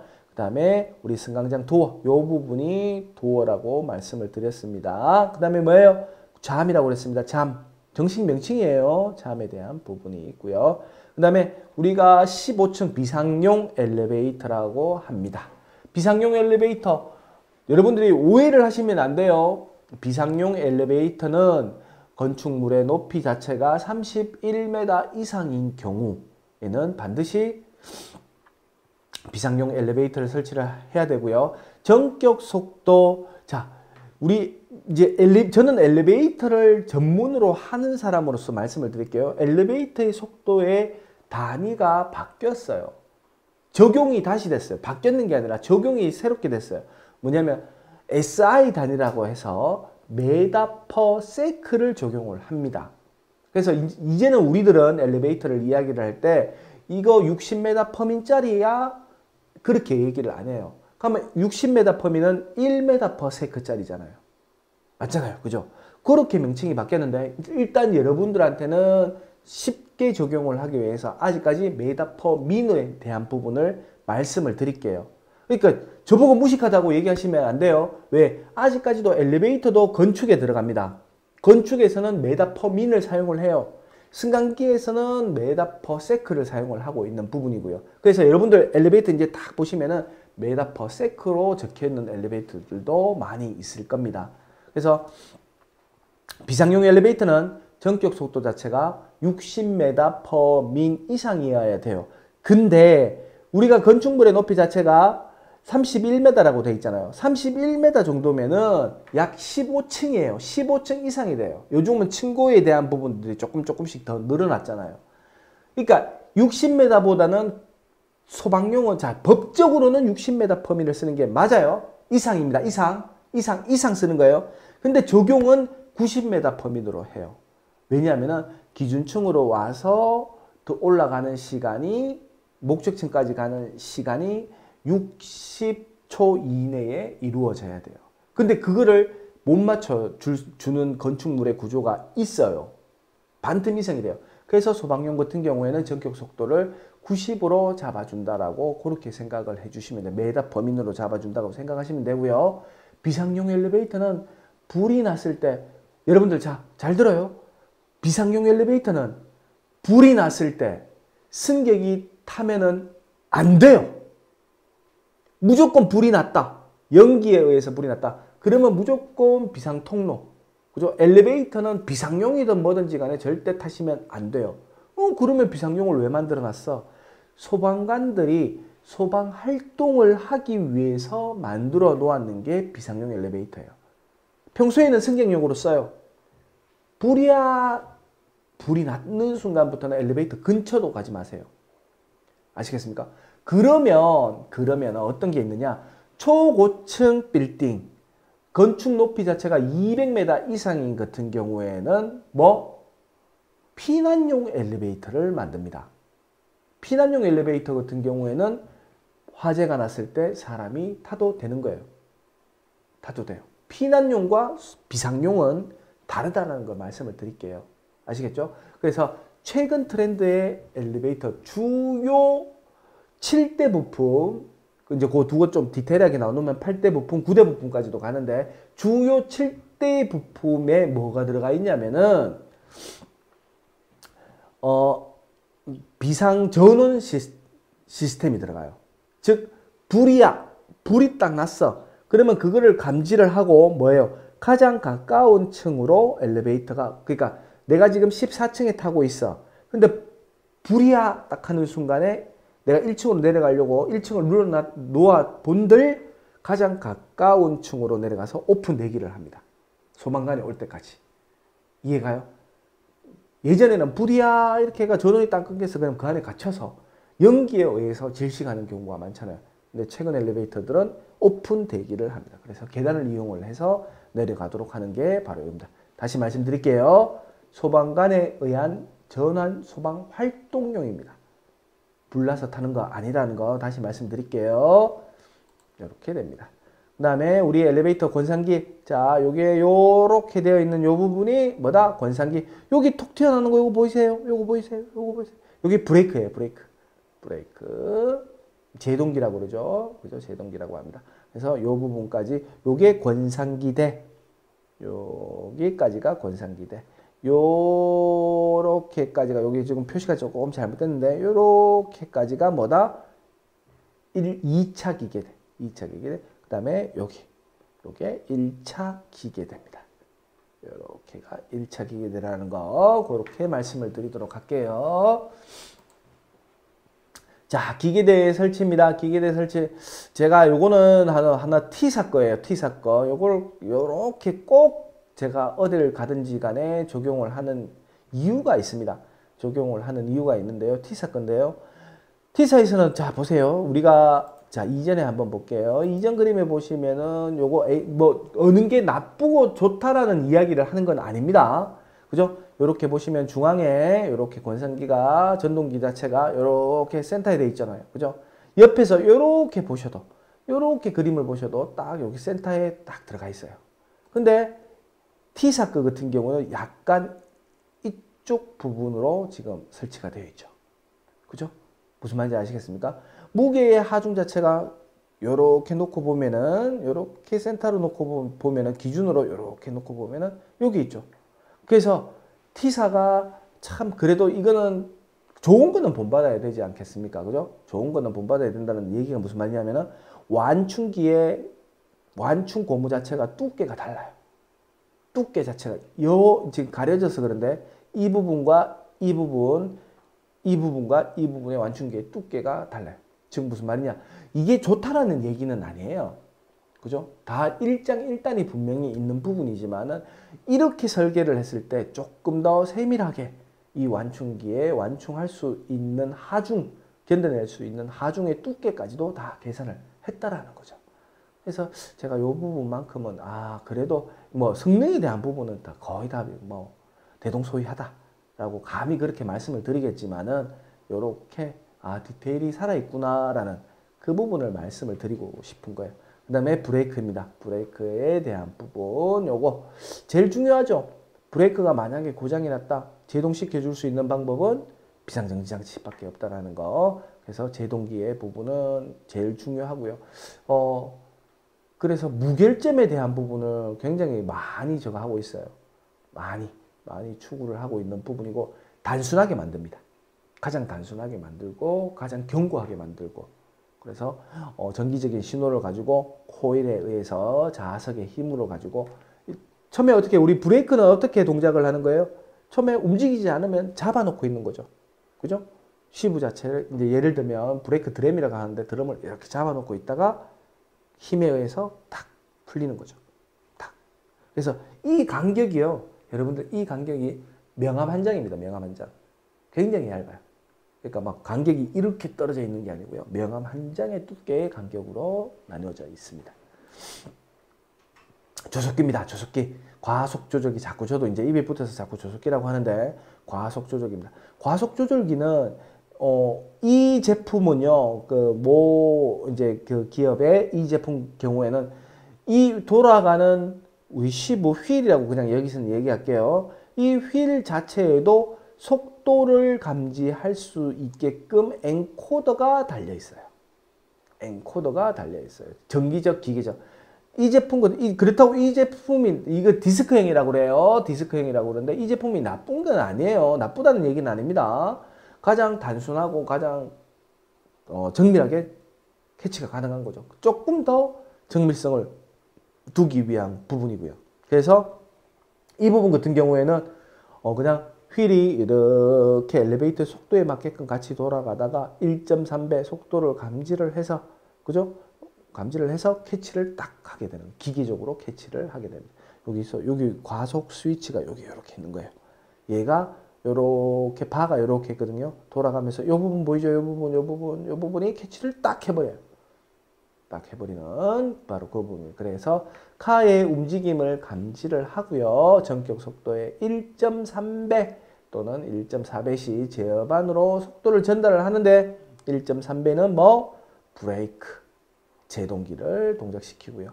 1.4배는 비상정지 장치를 작동시킵니다. 여기서 하나 말씀드릴게요. 금방 얘기했던 2019년도부터 이, 실질적으로는 이 법이 만들어지기 시 작했는 것은 2016년도부터 적용이 됐어요. 주요 안전 부품에 대해서 7대 부품 중에 뭐가 있냐면은 얘들은 지금 보고 계시는 이 화면의 조속기는 하강시만 중력에 의해서 로프가 딱 끊어졌어. 하강시에만 동작을 하는 거지. 우리가 돌발 상승이라고 해요. 요즘 TV 같은 거 보면 얘가 갑자기 5조작으로 해서 갑자기 상승을 해서 우리 천장, 승강로 천장을 벽을 박는다 그러죠. 그죠? 그래서 우리가 줄여서 돌상 돌상 그래요. 돌발 상승이라고 그럽니다. 이제 그 같은 경우에도 막아줄 수 있도록 돌발 상승 방지 장치. 그 다음에 또 하나 뭐 개문 출발 장치. 문이 열렸는 상태에서 올라가거나 내려가서는 안 되잖아요. 그래서 그런 장치들도 다 포함이 되어 있다. 그 말씀을 드리도록 하겠습니다. 자, 그 다음에 승강기 공사의 시공자재 선정 엘리베이터 부위별 명칭 제어반입니다. 제어반. 제어반은 음, 제조회사에서 굉장히 신경을 써서 만들고요. 자, 하나하나 말씀드릴게요. 여기에 있는 이 부분하고 안쪽에 있는 부분까지 해서 이렇게 보시면 여기 인버터에 대한 부분, 그 다음 메인 보드에 대한 부분, 각종 부품의 통신에 대한 부분, 그 다음에 이 부분은 배선용 차단기에 대한 부분, SPD, surge protect device에 대한 부분, 그죠? 서, surge protect device를 보호해주는 어, MCCB, 그죠? 요렇게 구성이 되어 있어요. 그 다음에 여기 위에는 방열판이 있고요. 팬이 있고요. 여기 인터폰이 있습니다. 인터폰. 요렇게. 그래서 제어반의 크기, 여러분들 제어반의 크기는 뭐하고 관계가 있냐면은 전격 용량과 전격 속도에 따라서 관계가 되어 있습니다. 즉, 거기에 따라서 뭐가 달라지냐. 권상기의 전동기의 크기도 달라지지만은 인버터. 우리가 엘리베이터는 지금 굉장히 우리가 인버터의 발전의 과정을 한번 그냥 구두상으로 잠깐 말씀을 드리자면요. 인버터는 가장 단순한 1단 속도제요. 전기 넣었어. 그냥 올라가고 내려가고 끝. 그 다음에 2단 속도제요. 2단 속도제면 고속 권선하고 저속 권선. 그, 즉 올라갈 때는 이렇게 조금 큰 힘을 발휘하기 위해서 올라가다가 고속 지점에서는 조금 빨리 가다가 그 다음에 감속하고 정지하고 2단 그 다음에 피드백 속도제요. 그죠? 피드백 속도제요. 뭐냐 속도 카의 움직이는 속도하고 전기적인 신호 주는 부분을 감지해서 그죠? 이제는 피드백 제어도 안 해. 뭐 VVF 가변 전압 가변 주파수 인버터에 의해서 그죠? 우리 교류 전원이 딱 들어와요. 교류 전원을 딱 들어오면은 컨버터에 의해서 만들어주고 평활 회로부를 거치고 인버터를 거쳐가지고 속도를 제어를 해주는 부분. 그래서 그 부분이 용량과 속도에 따라서 바뀌는 거예요. 또 직류 같은 경우는 직류를 레오나드 방식하고 직류 워드 그죠? 정지 레오나드 방식 뭐 이런 부분들이 있습니다. 근데 우리가 지금 하고 뭐 이론을 얘기를 하자는 것도 중요하지만은 여러분들이 만약에 적용을 하신다면 당연히 인버터 방식이죠. 그 다음에 기어가 없는 gearless 방식입니다. 그리고 1대1로 하실 건지 2대1로 하실 것인지는 그 업체, 시공사 또는 이 제조사하고 이야기를 해서 현장 여건에 맞추어서 진행을 하는 부분이에요. 이해가시겠죠? 그럼 여기서 질문은 굉장히 많이 나올 겁니다. 금액은요? 1대1이냐? 2대1이냐? 감히 말씀드리면은 거의 이제는 많이 비슷해졌다. 많이 비슷해졌다. 그렇게 말씀을 드릴 수가 있어요. 그래서 승강로의 설계 면적 자체가 여유가 되고 근데 승강로의 설계 면적 자체가 여유가 된다라는 것은 무슨 말이에요? 생활적인 부분에 있어 가지고 다른 부분에 공간이 줄어들 수밖에 없잖아. 그죠? 그런 걸 감안을 해서 설계를 하신다면은 아마 집에 대한 부분들이 아마 조금 더 편리하지 않을까 그렇게 생각합니다. 그 다음에 가이드레일입니다. 참 중요하죠. 가이드레일 같은 경우에는 우리가 리모델링의 개념으로 한번 가지고 가볼게요. 리모델링의 개념으로. 자, 신축은 당연히 이렇게 신규에 대한 부분은 가이드레일이 들어옵니다. 근데 리모델링을 아마 질문들을 굉장히 많이 하실 거예요. 그래서 시간이 될지는 모르겠지만은 자, 내가 미리 말씀을 드릴게요. 엘리베이터는 주택법 우리 이제 건축과 주택 나눠지잖아요. 그죠? 그래서 건축법, 주택법 다 관계가 돼 있는데 주택법 별표 5번에 보시면은 승강기 다른 부분들도 많아요. 승강기에 내구 연한이 정해져 있어요. 그래서 어떻게 돼 있느냐? 뭐 시브로프라고 해요. 그러니까 쉬브와 로프 이 부분들은 내구 연한 5년으로 되어 있습니다. 제어반은 15년으로 되어 있습니다. 이렇게 되어 있는데 자, 우리 승강기 검사 기준법으로서 15년이 되었는 엘리베이터는 정밀 안전 진단을 합니다. 정밀 안전 진단을 합니다. 사고를 막기 위해서 법적입니다. 그리고 첫 번째 정밀 안전 진단을 하고 나서 그죠? 3년이 도래합니다. 첫 번째 3년입니다. 그러면 18년 되죠. 18년에 다시 한번 뭐 한다? 정밀 안전 진단 진단을 합니다. 물론 그 와중에 와중에도 또 정기 검사를 해요. 그죠? 정기 검사를 합니다. 하고 18년 됐으면 안, 정밀 안전 진단을 합니다. 그 다음에 21년이 도래가 됩니다. 21년 다시 3년이죠. 21년 돼서 정밀 안전 점검을 하는데 그죠? 하는데 여기에서 뭐 법 바뀌었는 거 안전 기준 바뀌는 거 다 이제 물론 앞전에 다 정, 적용을 해야 됩니다. 적용을 하고 다시 3년이 지나는 24년의 시점이 도래를 되면은 도래가 되면은 정밀 안전 진단을 받고 6개월마다 정밀 안전 진단을 받아야 됩니다. 이해 가십니까? 근데 23년이 4년이 도래가 되면 어떤 게 있냐면은 이 엘리베이터를 그래도 다시 사용을 하겠습니까? 라고 하면 주민의 동의 80%가 있어야 됩니다. 주민의 동의 80%가 뭐가 있냐면요. 우리가 실거주하고 계시는 분들의 동의가 아니라 집주인의 동의가 있어야 되는 거예요. 집주인의 동의가.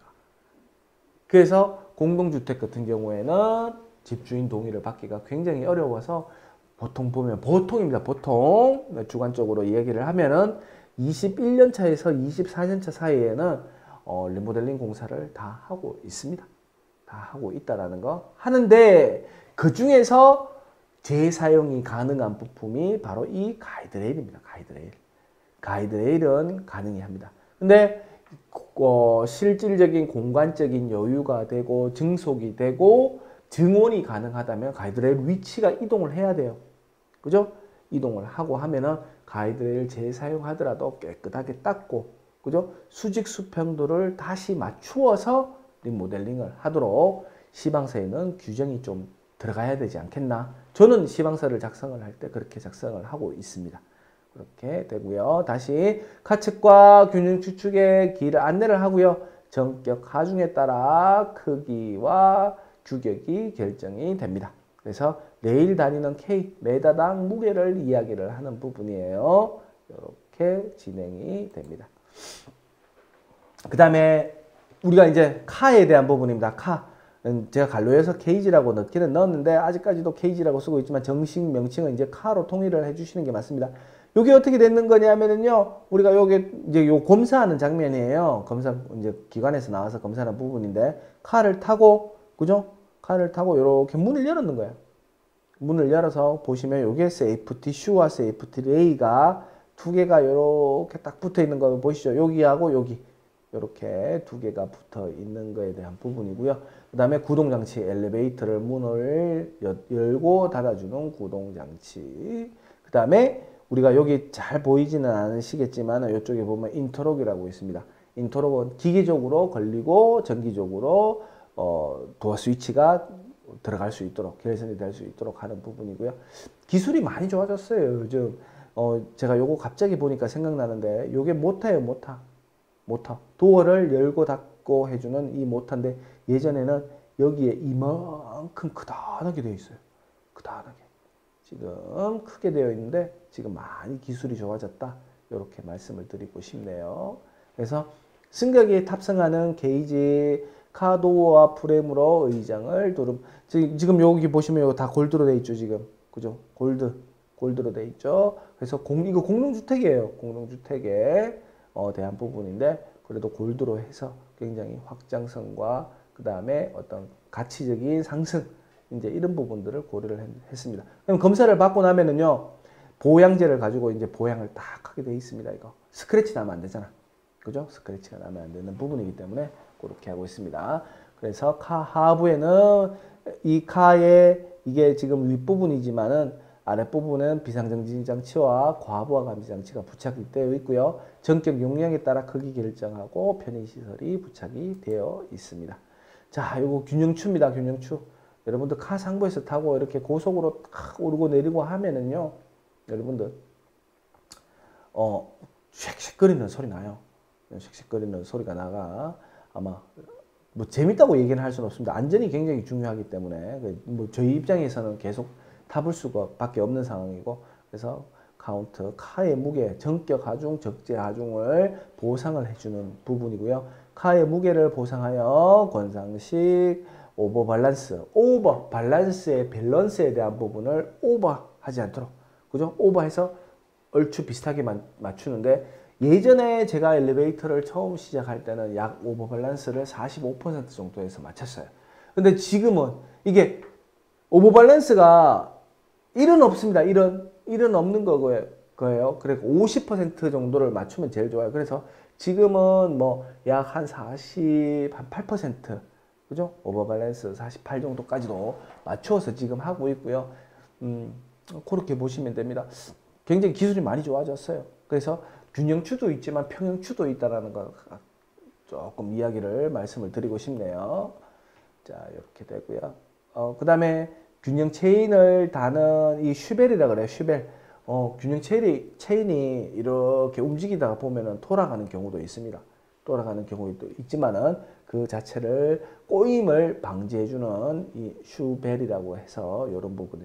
요게 뭐냐면은 어, 완충기 버퍼의 이격거리 어, 럼바이를 맞춰주기 위한 럼바이에 대한 부분을 이야기하고 너무 전문적인 용어는 안, 하게, 안 하도록 할게요. 그 다음 와이어로프입니다. 와이어로프. 카와 균형추 측에 매달아 동력을 전달하고요. 안전율 12 이상. 혹시 여러분들 엘리베이터 공부 조금 하신 분들 있나요? 여기 보시면은 안전율이 2016년도까지는 10이었어요. 10. 안전율은 단위가 없습니다. 그래서 13번 이상을 사용을 했지만은 최근에는 뭐 8파이 이상입니다. 8파이 이상으로 지금 안전율은 동일하게 12입니다. 그리고 세부적인 사항 조금 있기는 있어요. 세부적인 사항들이 조금 있지만은 바뀌었다라는 거 그렇게 말씀드리고 싶고요. 그래서 이거는 한 번, 두 번, 세 번, 네 번, 다섯 번, 다섯 번을 사용을 했습니다. 2대1 로핑 짜리를 다섯 번을 사용을 했다라는 거 그렇게 말씀을 드리고 싶네요. 음, 많이 좋아졌어요. 로프 같은 경우에는 사용량에 따라서 이제 그런 질문들이 좀 많이 들어와요. 왜 우리 아파트는 3년마다 로프가 이렇게 빨리 딸가서 공고가 들어오느냐? 그러면 두 가지가 있어요. 크게 두 가지. 첫 번째, 일단은 용량에 대한 부분을 설계를 잘못했어. 우리가 예전에는 보면은 엘리베이터가 격층으로 쓰는 거 있죠. 그러니까 엘리베이터를 두 대를 놓고 격층으로 쓰는 게 아니고 홀짝수제로 쓰는 게 아니라 옛날 아파트들 보면은 1층 쓰고 3층 쓰고 5층 쓰고 하는 거 있죠. 그런 거 같은 경우나 또는 한 대짜리인데 용량 계산을 질적인 부분이나 양적인 부분이나 계산을 잘못해서 전층을 사용 스톱을 하고 복도식이야. 그런 것 같은 경우는 사용량이 많잖아요. 사용량이 많아서 조금 전에 이야기했던 주택법 별표 5번에 의해서 내구연한이 5년은 보장돼야 되는 거 아니냐? 근데 왜 우리 아파트는 맨날 3년마다 가느냐? 여건들이 있는 거예요. 여건들, 사용하는 여건, 조건들이 있는 거예요. 근데 사용량이 많으면 당연히 마찰에 의해서 기동이 되고 구동이 되는 부분인데 당연히 어떻게 돼요? 주가 수밖에 없죠. 그죠? 빨리 갈 수밖에 없죠. 근데 어 우리 아파트는 뭐 이거 7년 됐는데도 아직 쓰고 있어. 여건을 봐야 돼요. 첫 번째 뭐다? 격, 조금 전에 이야기했던 격층제로 쓰는 것이냐, 사용량이 작은 것이냐. 모 공공기관에 엘리베이터 한 대가 있어요. 엘리베이터가 1층과 3층으로 밖에 이동을 안 해요. 근데 그 엘리베이터가 어딨냐면은 일반인들이 잘 모르는 구석 안쪽에 있어요.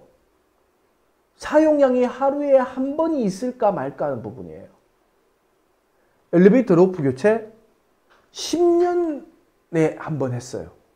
10년에 한 번. 당연히 짧지가 않으니까 여기서 참고적으로 팁을 하나 말씀드리자면 사용 안 하는 거니까 끊임없이 끊어차 끊으시지 마시기 바랍니다. 기계는 움직이는 것이 더 훨씬 더 오래 사용을 할 수 있는 부분도 있습니다. 그죠? 그렇기 때문에 저는 가서 하루에 한 번씩 콜 주고 했던 부분도 있어요.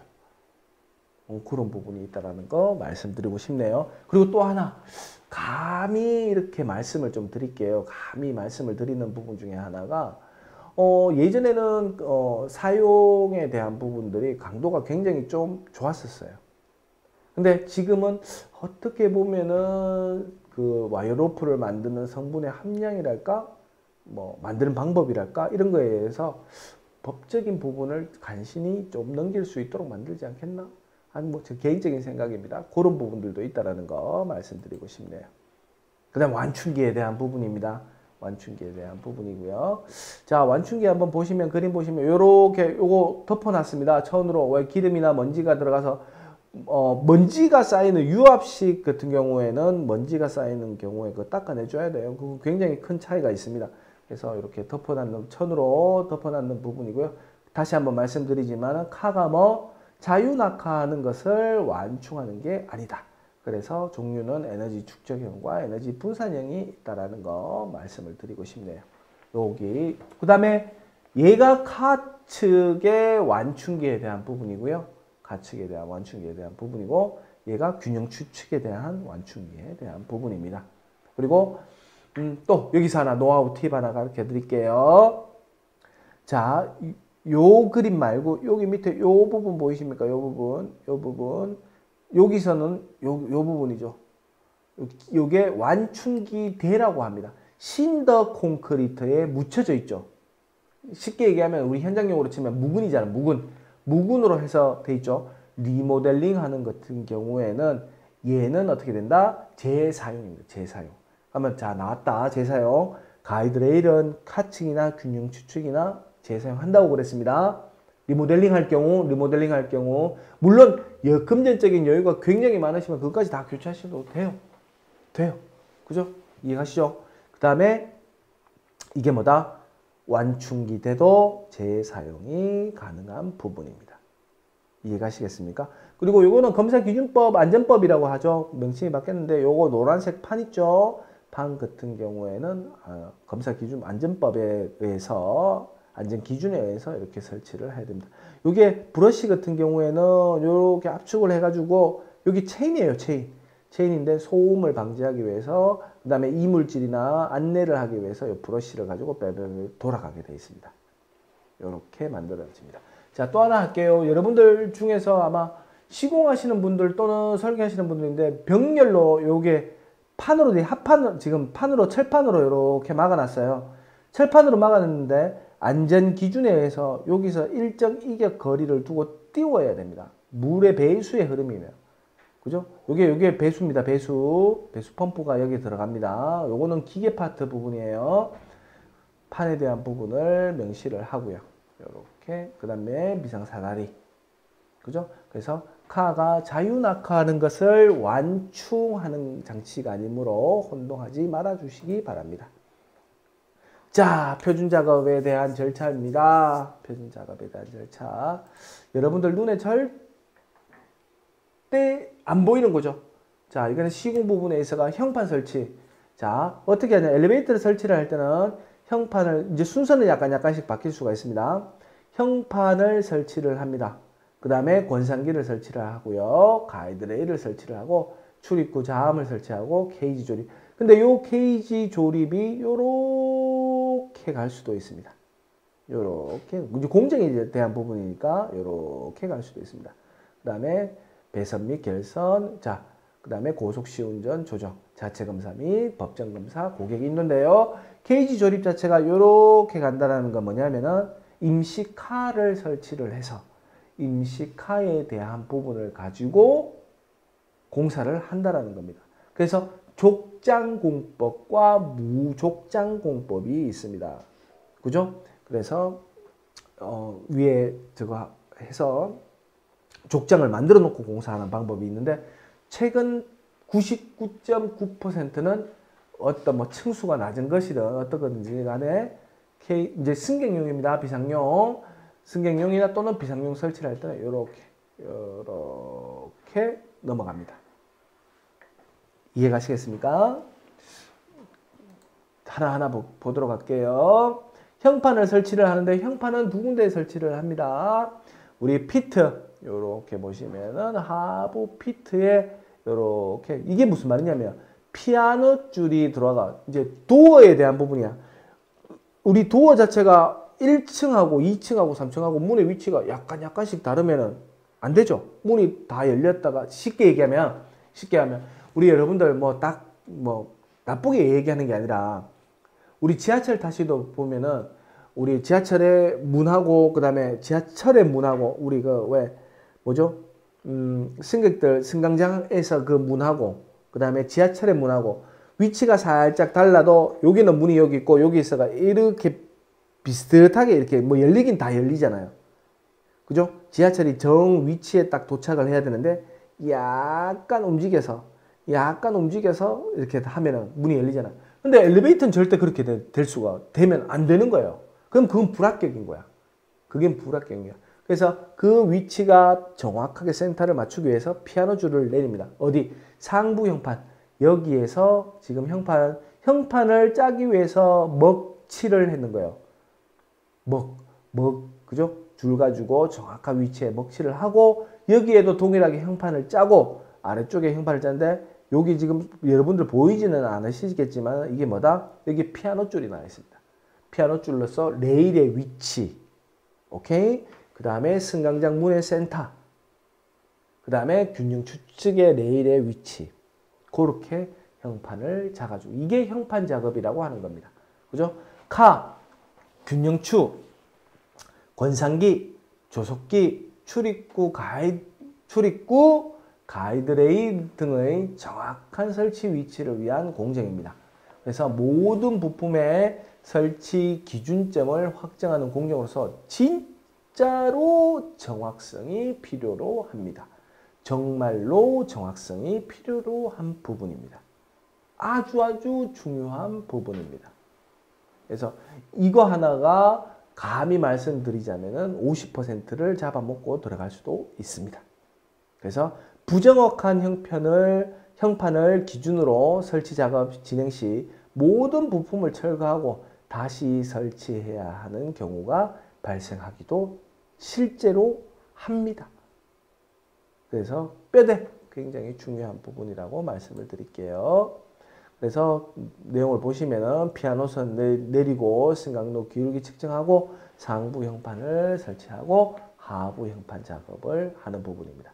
그래서 어, 상부 형판 설치 완료는 카 출입구 카 가이드레일 균형추 가이드레일 간의 주요 항목을 측정을 하고요. 각 층의 승강로 기울기가 관련 별도로 기록을 해야 됩니다. 자, 그 다음에 형판 설치 시 협조 사항에 대한 부분입니다. 자, 이거 무슨 말이냐면은 실제로 제가 이 지금 여기 여러분들 보시는 사진들은 제가 실제로 다 찍었는 사진들입니다. 제 사진인 겁니다. 보시면은요. 한여름에 피트가 잠겼어요. 설치까지 해놨는데 잠겼어. 그죠?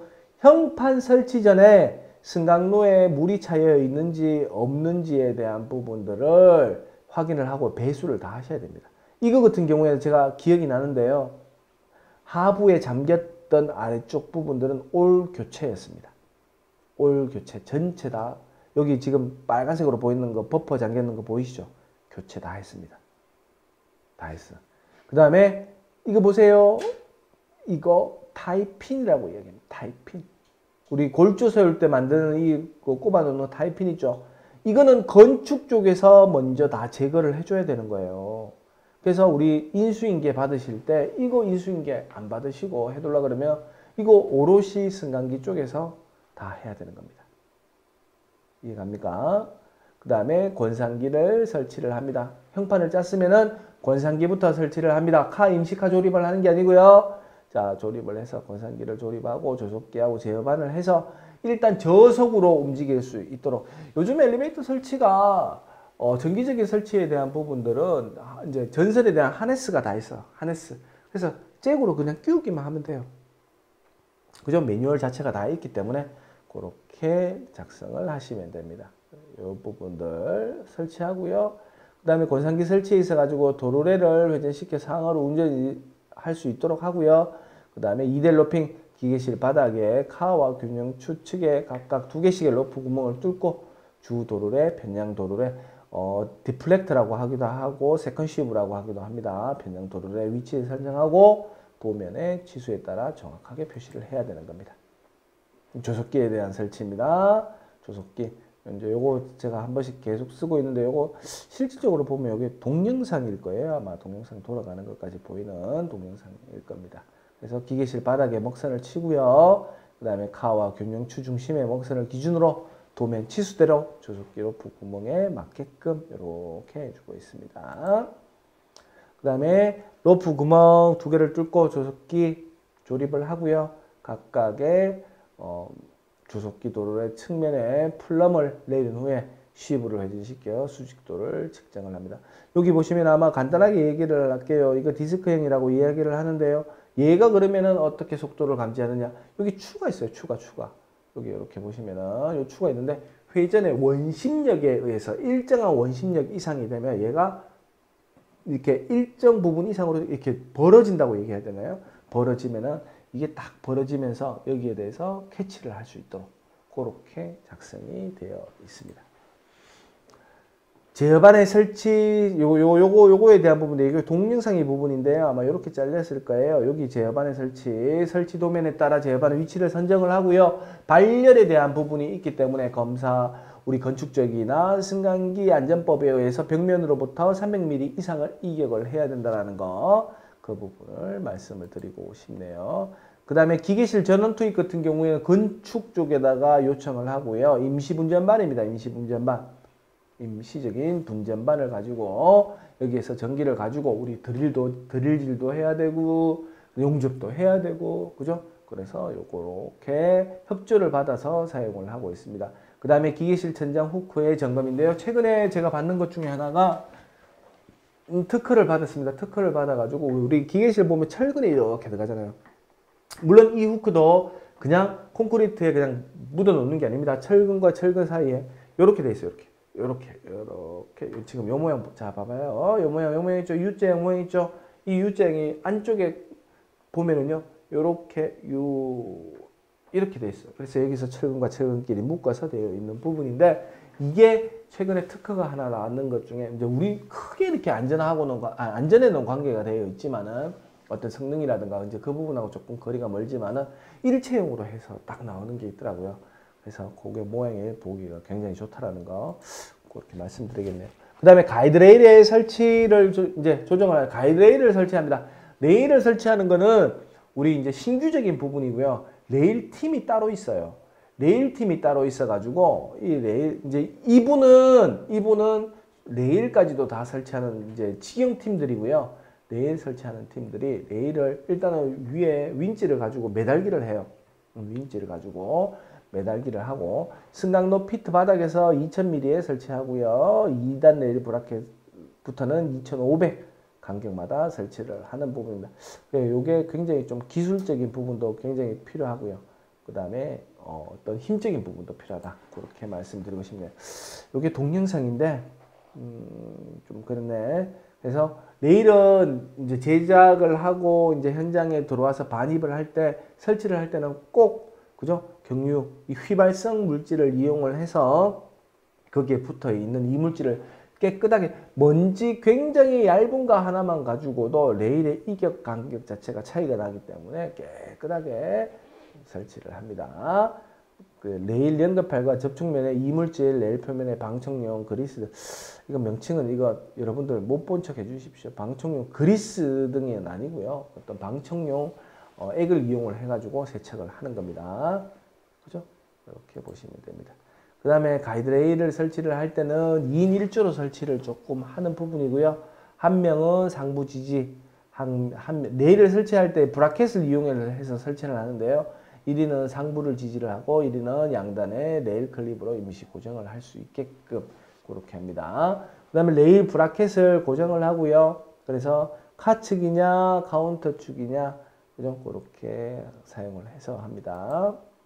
그 다음에 승강로, 승강기 안에 양중용 shackle 조립하고 전동 윈치를 통해 가지고 끌어올리는 윗, 그죠? 끌어올리는 그런 부분입니다. 그리고 작업대에 구동 로프 공간을 확보를 하고요. 일단은 이게 족장을 만들어 놔, 놔야 됩니다. 일단 레일을 다 할 때까지는 족장을 만들고요. 그 다음에 임시 car를 조립해서 이제 족장을 조금 낮추는 부분입니다. 그래서 출입구를 설치를 합니다. 그래 sill에 대한 설치가 먼저 이루어지고요. sill 여러분들 보시면 레일 그 도어가 열리고 닫히고 하는 그 레일 있죠, 그죠? 이제 그, 그, 그 부분이에요. 그리고 자음을 설치하고 케이스 설치하고 해지 도어를 설치를 합니다. 그래서 각 층의 승강장 출입구 바닥에 설치하고요. 정상 운전 중에 각 층의 정지 시 카 문과 승강장 문이 열릴 수 있도록 하부 가이드를 설치를 합니다. 그래서 이제 요, 요, 이제 이 부분이 다음에 또 나올, 나올 건데요. 여기 보면 고정용 앙커 해서 세 군데 이상을 용접을 해야 되는 부분이고요. 그래서 추를 통해 가지고 프레임을 조립을 하는데 이게 그림에서도 보시다시피 이렇게 휘, 휘었죠, 지금. 이쪽 부분으로 휘었죠. 그래서 추를 이용을 해서 정확하게 수직이 되도록 만들어줘야 되는 부분이고 toe guard 에어 toe guard 같은 경우에는 승강장이 중간층에 걸쳤을 때 승강장과 벽과의 이격거리 스카와 벽과의 이격거리가 125mm를 맞춰줄 수 있도록 toe guard를 설치를 하는 부분입니다. 그 다음에 우리 출입구 도어 쪽인데요. 이제 승강장 도어에 요게 interlock에 대한 부분입니다. interlock, interlock에 대한 부분. 그래서 승강장 문 행거를 롤러에 매달려 트랙에 개폐하도록 하고요. 그 다음에 웨이트나 스프링 구조의 closer로 이제 도어 closer가 뭐냐면은요. 도어 closer 같은 경우에는 문을 카가 없는데도 문이 열려 있으면 자동으로 손 놓으면 자동으로 닫게끔 그렇게 하는 부분.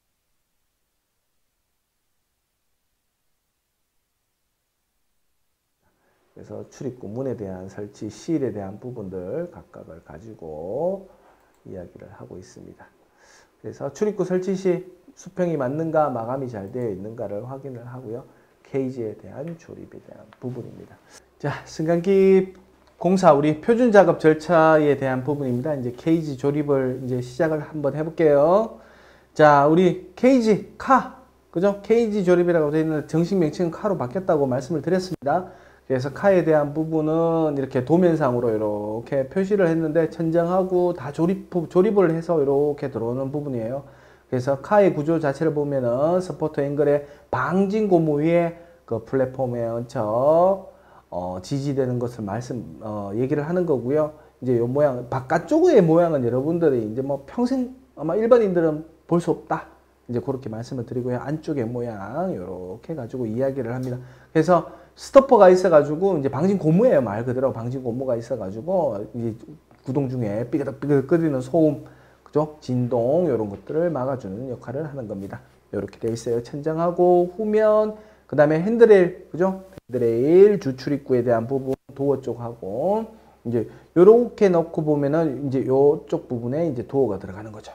그죠? 그래서 어, 출입구 상판, 막판이라고 우리가 이제 현장에서는 막판이라고 얘기를 합니다. 이렇게 표시가 되고요. 그래서 카벽, 그 다음에 카 천장, 카 천장을 위에서 만든 부분이고요. 그 다음에 카 조작반, 위치 표시기까지 이렇게 나타나 있습니다. 그죠? 그래서 사면체의 카 플랫폼 전후에 사면으로 조립된 벽체를 이야기를 하고 있고요. 천장에 대한 부분에 얘는 보양을 했는 거예요. 지금 어, 임시적으로 지금 나무 화판을 통해 가지고 보양을 했습니다. 그리고 카 벽에 대한 부분에서 이제 조작반 여기 카 도어 쪽이고 옆쪽에 조작반을 설치를 하는 부분입니다. 그리고 카 비상 탈출구 상부에는 비상 탈출구를 반드시 설치를 하고요. 요거 잠깐 여담을 이야기를 하자면은 우리 영화 같은 거 보면은 그죠? 그 빰빰빠밤 이렇게 소문 나잖아요. 소리 나잖아요. 그죠? 그러면 위에서 엘리베이터 안쪽에서 비상 출입구를 탁 열고 밖으로 나가요. 거짓말이에요. 거짓말. 그죠? 법적으로 뭐냐면은 카 상부에서만 열릴 수 있도록 되어 있습니다. 그러니까 구조자에 의해서 구조가 되도록만 열리도록 되어 있다라는 거. 영화 보시면은 엘리베이터 카 안에서 열고 위쪽으로 올라가서 뭐 이렇게 영화적으로 영화적인 요소를 구성하는 거는 거짓말이다. 그렇게 말씀을 드리고 싶네요. 요거 환풍기의 시선 blower라고 하죠. 그죠? blower. 그 다음에 전후 장면 상부의 전후 이거 car 천장을 지금 받는 부분이에요. car 천장에 받는 부분. 그래서 조명 기구, 비상정전 등, 그 다음에 background music, 스피커 등을 설치를 하고 있습니다. 그리고 비상 조명은 오룩스죠, 그죠? 오룩스, 촛불, 어두운 암실에 초 하나를 켜놓는 밝기 크기를 룩스라고 이야기를 하고요. 단위를. 그래서 오룩스가 되는 부분입니다. 그 다음에 우리 제반, 요 조작반에 대한 부분, 요거 비상용 같은 경우에는 소방관들에 의한 1차 소방 운전, 2차 소방 운전이 될 수 있도록 되는 부분입니다. 그래서 car 조작반에 포함되나 위치 표식이 그죠? 그래서 출입구 상판에 설치하기도 하고 되어 있습니다. 그 다음에 기계실의 배선에 대한 부분이고요. 배선에 대한 부분들은 이제 하네스로 자꾸 하네스 하네스 얘기를 하니까 하네스로 이루어져서 이제 조립만 하면 되는 부분인데 어, 배선 자체에 얼마만큼 깔끔하게 하는가. 기계실의 배관 자체도 여기 여기 이 그림을 보시면 이게 트렌치 공사라고 하거든요. 트렌치에 대한 부분 공사. 그 다음에 기계실 배관 자체도 노출이 되어서는 안 되는 그런 부분들을 이야기를 하고 있습니다. 이동 케이블에 대한 부분이고요. 이동 케이블 속에서 카와 연결되어 있는 모든 것들이 제어반으로 되어 갈 수 있도록 이탈하지 않도록 그죠? 그렇게 되어 있습니다. 그래서 steel cord라고 해가지고 우리가 UTP까지도 안에 내장되어 있는 그런 명칭들도 지금 사용을 하고 있는 부분입니다. 그 다음에 리미트 스위치 최상층이나 최하층을 통과하지 하지 말라고 리미트 스위치와 final 리미트 스위치가 상부 하부에 설치가 되어 있습니다. 그래서 굉장히 중요한 안전장치 중에 하나입니다. 그래서 리미트 스위치 결선 작업을 하고요. 요거 레벨 vane이라고 하는데 어, 요거 동영상에 이제 대한 부분인데요. 이, 얘를 통해 가지고 디귿자형 말굽 우리가 말굽쇠라고 얘기도 하기도 합니다. 그래서 디귿자형으로 돼서 얘를 통과하면서 가속, 감속, 정지에 대한 부분, 그죠? 그렇게 이루어집니다. 그 다음에 이것도 동영상에 대한 부분인데 지금 이렇게 나와 있고요. 엘리베이터 제조사 착상 정지에 대한 부분입니다. 그래서 vane에 대한 부분하고 리미트 스위치를 하면서 레벨 차이를 기록을 하고 착상을 정착상을 할 수 있도록 그래서 요즘은 re-leveling이라고 해서 참 무게가 갑자기 짐이 무거운 게 실려져 있으면은 약간 더 내려가거나 올라가 있는 상황으로 만들어져요. 그러면 얘가 문이 열리면서 자동으로 re-leveling을 또는 문이 닫혀 있으면 re-level, re-leveling을 하고 문이 열리도록 그렇게 지금 기술적으로도 발전이 되어 있습니다. 그 다음에 엘리베이터 하부에서 카운터의 무게를 가지고 어, 하는데 어, 110%의 부하를 세팅을 하고요. 어, overbalance를 맞춘다고 얘기를 하죠. 어, 이렇게 진행이 됩니다. 그 다음에 기계실의 바닥 마감하고요. 예전에는 우리 녹색, 그죠? 상도, 하도, 방수 해가지고 하지만 요즘은 회색 또는 흰색 먼지에 대한 구분 자체가 훨씬 더 좋기 때문에 그렇게 나오고요. 피트 바닥도 마감을 하고 창호에 대한 부분들도 마감이 이루어지게 되어 있습니다. 그래서 자체 검사, 품질 검사 이렇게 뒷모습만 봐도 아마 여러분들 제 모습이라고 생각을 하셔도 됩니다. 접니다. 그래서 이제 이렇게 품질에 대한 전력적인 품질을 검사를 하고 있는 부분이고요. 그 다음에 공인기관에서 법정 검사를 하고 있는 부분. 그 다음에 우리가 이제 뭐 공공기관 같은 경우에는 자체적인, 그죠? 한국토지주택공사에서는 이렇게 측정을 해서 어, 우리 고객에게 인도를 하는 이런 부분들이 있습니다.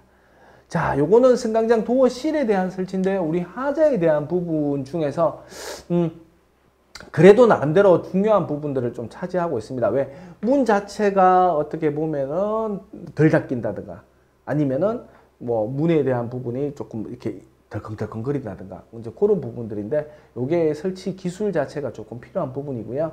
그래서 자함을 설치하고 진짜 여러분들 재료 분리대에 대한 부분입니다. 요거 좀 말씀을 드려야 되는데 재료 분리대 같은 경우에는 요게 음각으로 표시가 되어 있어 미끄러지지 않도록 각 층을 나, 타내고 있고요. 실의 앞부분에서 요거는 하나로서 만들어져서 최초 시공을 할 때는 그대로 되지만 리모델링 하는 경우에는 이게 아마 재료 분리대가 없는 경우가 훨씬 더 많아요. 아파트마다. 근데 자, 제 주관적인 생각이지만 굳이 이 재료 분리대를 안 하셔도 돼요. 그러면은 이 실은 리모델링을 하다 보면은 도어, 승강장 도어 실은 이게 교체를 할 수밖에 없거든요. 교체를 하면 여기에 있는 타일들이 이렇게 깨져요. 그러면 이 마감 자체를 디귿자형 앵글을 해서 꼽든가 아니면 실리콘 처리 또는 건식 뭐 어떤 시멘 이런 걸로 해가지고 마무리 처리를 하셔도 되고요. 굳이 하신다면은 어, 논슬립 미끄러지지 않는 방지장치 이렇게 각 층을 표시 안 하고 음각으로 표시 안 하고요. 논슬립으로 하셔도 충분히 가능한 부분입니다. 그래서 이런 부분들도 있으니까 어, 하, 금전적으로 여유가 되신다라면은 안전을 위해서 하시는 부분이 어, 맞지만은 리모델링을 하실 경우입니다. 리모델링 리모델링을 하실 경우에는 굳이 뭐 미관상으로서 막 어, 깔끔하게 마무리가 된다라면 안 하셔도 된다는 제 주관적인 생각. 금전적으로 여유가 있으시다면 반드시 하십시오. 그렇지만은 조금 이렇게 리모델링하는 금액 자체가 이렇게 조금 타이트하다. 그런다면은 어, 깔끔하게 마무리하는 것도 괜찮은 방법 중에 하나입니다. 그래서 승강장 문턱 이렇게 강도에 대한 부분들도 계산을 해서 하고요. 그래서 요게 아까 얘기했던 요 문턱이 있고 요게 설치 재료 분리대가 요렇게 연결되어 있습니다. 고정해서 요렇게 해서 골조 바닥이 있으면은 건축 마감선 여기에 요게 이제 타일이겠죠. 그죠? 바닥 타일 요렇게 해서 마감이 되는데 구배는 분명히 나와야 됩니다. 이렇게 구배가 나와야 된다는 거 그림상으로 보여줍니다. 그래서 건축적인 바닥 마감선을 하고요. 지지대 설치 위치 표시까지 해서 설치를 해야 되는데 아래쪽에 보시면은 어, 실의 지지대 자체는 앵커볼트로 3개소 이상으로 이렇게 설치를 해주는 게 맞습니다. 그래서 문턱 지지대가 있으면 여기에 이제 실이 올라가겠죠. 이렇게 실이 올라가는데 점용접을 해줍니다. 풀리지 않도록 점용접을 해주는데 용접살의 눈은 3mm 이상으로 할 수 있도록 표시를 합니다. 요거는 한번 보시면 되고요. 그래서 실질적으로 시공이 이렇게 되면은 여기가 재료 요 이제 건축 마감선이 되겠죠. 그죠? 마감선이 되기 때문에 여기에 이렇게 타일들이 들어오는 겁니다. 자, 요거는 보십시오. 여기 보시면 광폭점이 아니라 여기 쪽점, 쪽점이라고 이야기를 하는 겁니다. 요렇게 마감이 딱 되는 거예요. 마감이 되어서 이쪽에 어, 골조, 바닥 골조 두 개소 하시고 그 다음에 여기 지지대죠. 실의 지지대, 그죠? 요렇게 설치를 하는 부분입니다. 그래서 실제 이제 요거도 보시면은 어떻게 시공하는가에 대해서 단계적으로 나오는 건데요. 일단은 어, 레이, 저 레벨기를 가지고 위치를 정확하게 맞춥니다. 맞추고 그 다음에 하부 문턱 하부 지지대를 설치를 먼저 합니다. 설치하고 하부 지지대를 설치를 할 때는 세 개소 이상의 하기 위해 가지고 수평 수직 다 맞춰요. 몇 번이나 맞춰야 됩니다. 그래서 재료 분리를 그 건축 마감선을 해서 이렇게 고르기 작업까지도 다 합니다. 그래서 양단 두 개소에 먼저 앙카볼트 작업을 먼저 하고요. 안- 안카부터 먼저 하고 또 몇 이제 제가 이 그림을 몇 번씩이나 넣는 이유 중에 하나가 뭐냐면은 이분들이 제가 이제 어떤 촬영을 하는 부분에 있어 가지고 더 신경을 쓰셨는지는 모르겠지만 레이저 레벨기와 수평계를 가지고 몇 번이나 아마 보시게 되면은 어, 또 아마 동영상을 이제 찾으시면 아마 보이실 겁니다. 이제 승강장 도어 실 시공이라고 아마 검색을 하시면 나오실 동영상이 아마 찾을 수가 있을 거예요. 이제 보면 몇 번이나 이렇게 수평 수직을 맞춘다는 거 그거 제가 다시 말씀을 드리도록 할게요. 이렇게 해서 지지대 실에 대한 지지대를 설치하고 실을 이렇게 또 다시 높이와 위치 한 번씩 동영상의 개념이라고 보시고 한번 쭉 봐주십시오. 이런 식으로 동작이 되는 거죠. 그죠? 이렇게 동작이 돼서 몇 번씩이나 해서 용접하고요. 위치 맞추고요. 재료 분리대까지 있는 거 했습니다.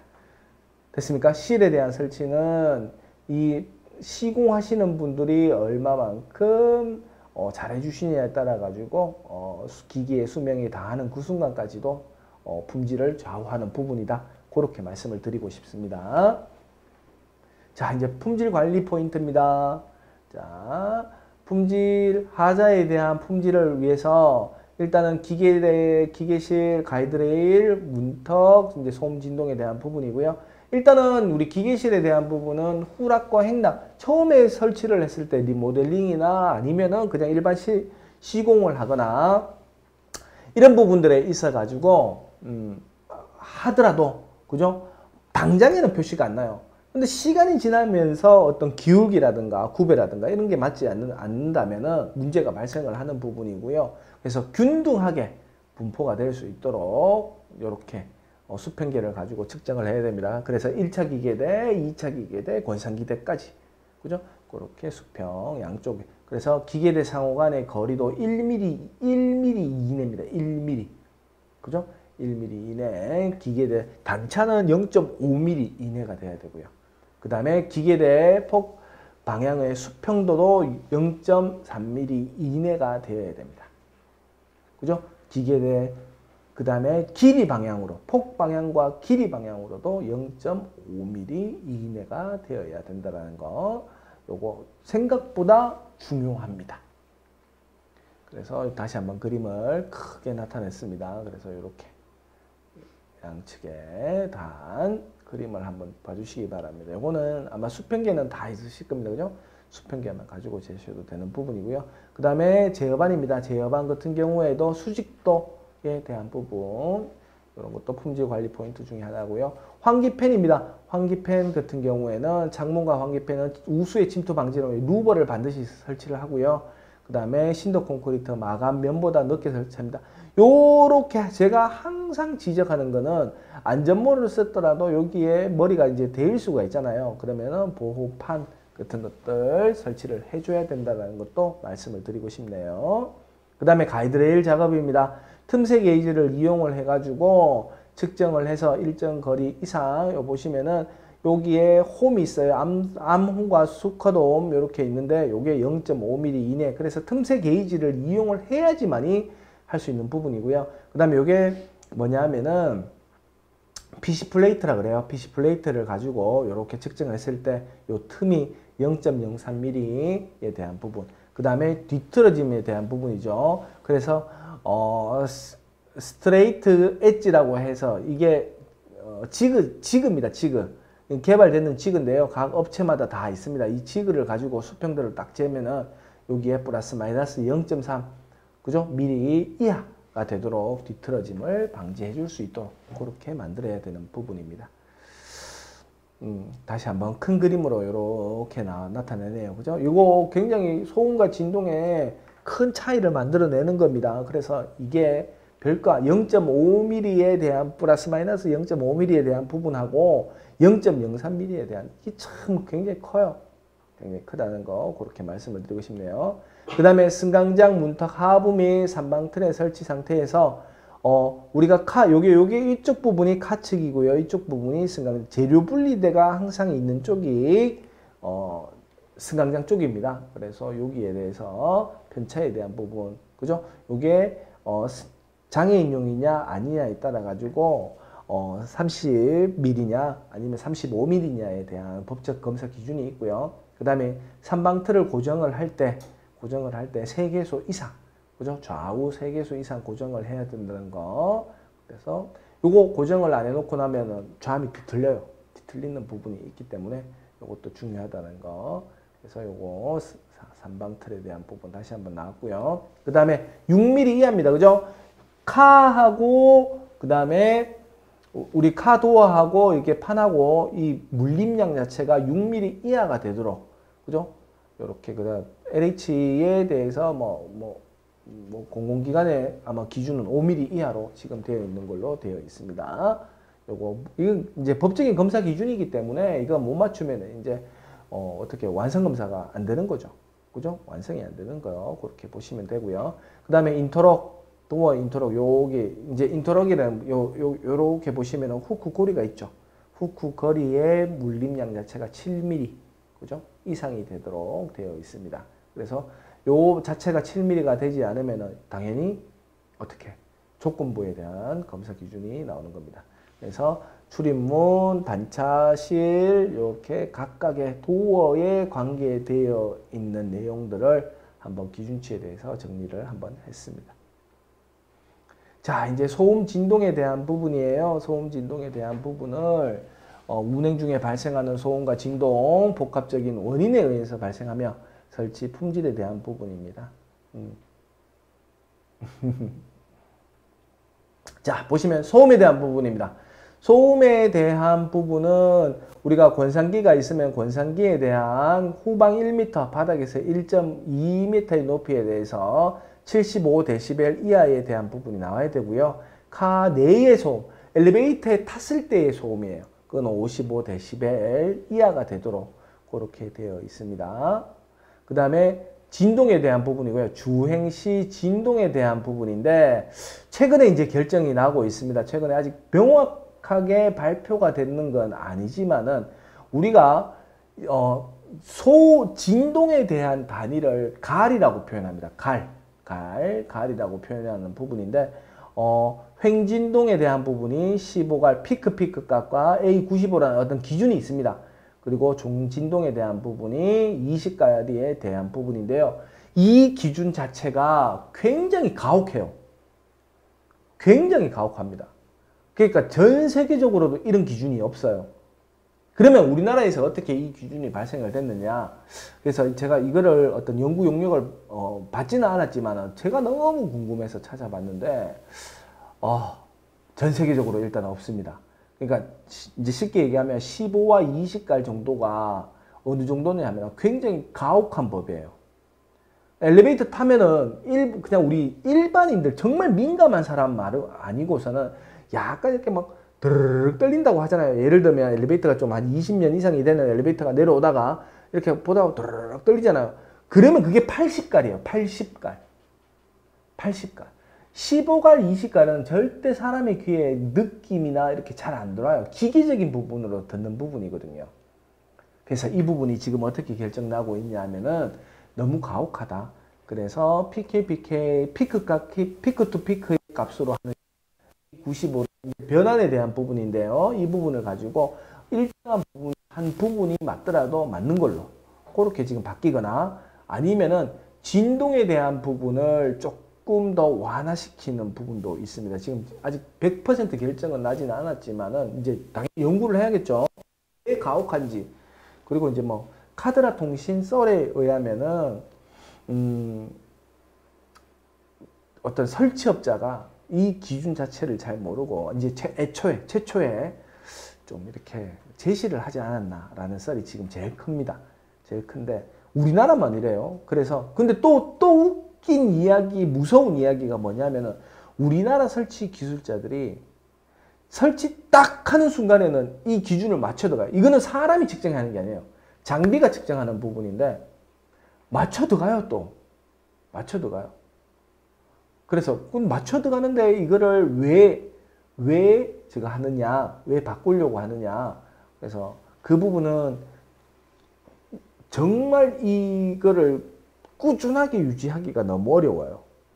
그래서 한 번 측정을 하는 게 아니라 동일한 부분에서 다른 시간대에 뭐 동일 조건을 가지고 뭐 세 번을 측정해서 평균값으로 해도 이 값을 좀 만들어내기는 어려운데 우리가 성능 평가를 한다 뭐 이런 것 같은 경우에는 또 이게 만, 맞춰지더라고요. 그래서 좀 웃긴 이야기지만은 뭐 제 개인적으로 이제 이 말씀을 드리는 스토리지만은 그러니까 그거는 말씀을 드릴 수가 있어요. 15갈, 20갈 진동 나면은요. 예를 들면 17갈 또는 뭐 24갈, 5갈 여러분들 못 느낍니다. 못 느낍니다. 그거는 명확하다는 걸 내가 말씀을 드리도록 할게요. 이렇게 진행이 됩니다. 자, 아무튼 간에 이렇게 해서 저희가 이 내용적인 부분들은 지금 다 끝났는 부분인데요. 저희가 이거 잠깐만 좀, 어, 여러분들이 가, 장 궁금한 거를 이렇게까지 이제 봤기 때문에 한 번 더 앞쪽에 올라가서 여러분들한테 이 말씀을 드리고 싶은 거예요. 아마 여러분들이 제일 궁금하신 부분들이 이 부분일 겁니다. 그래서 이 부분 한번 잠깐 다시 가지고 이야기를 할게요.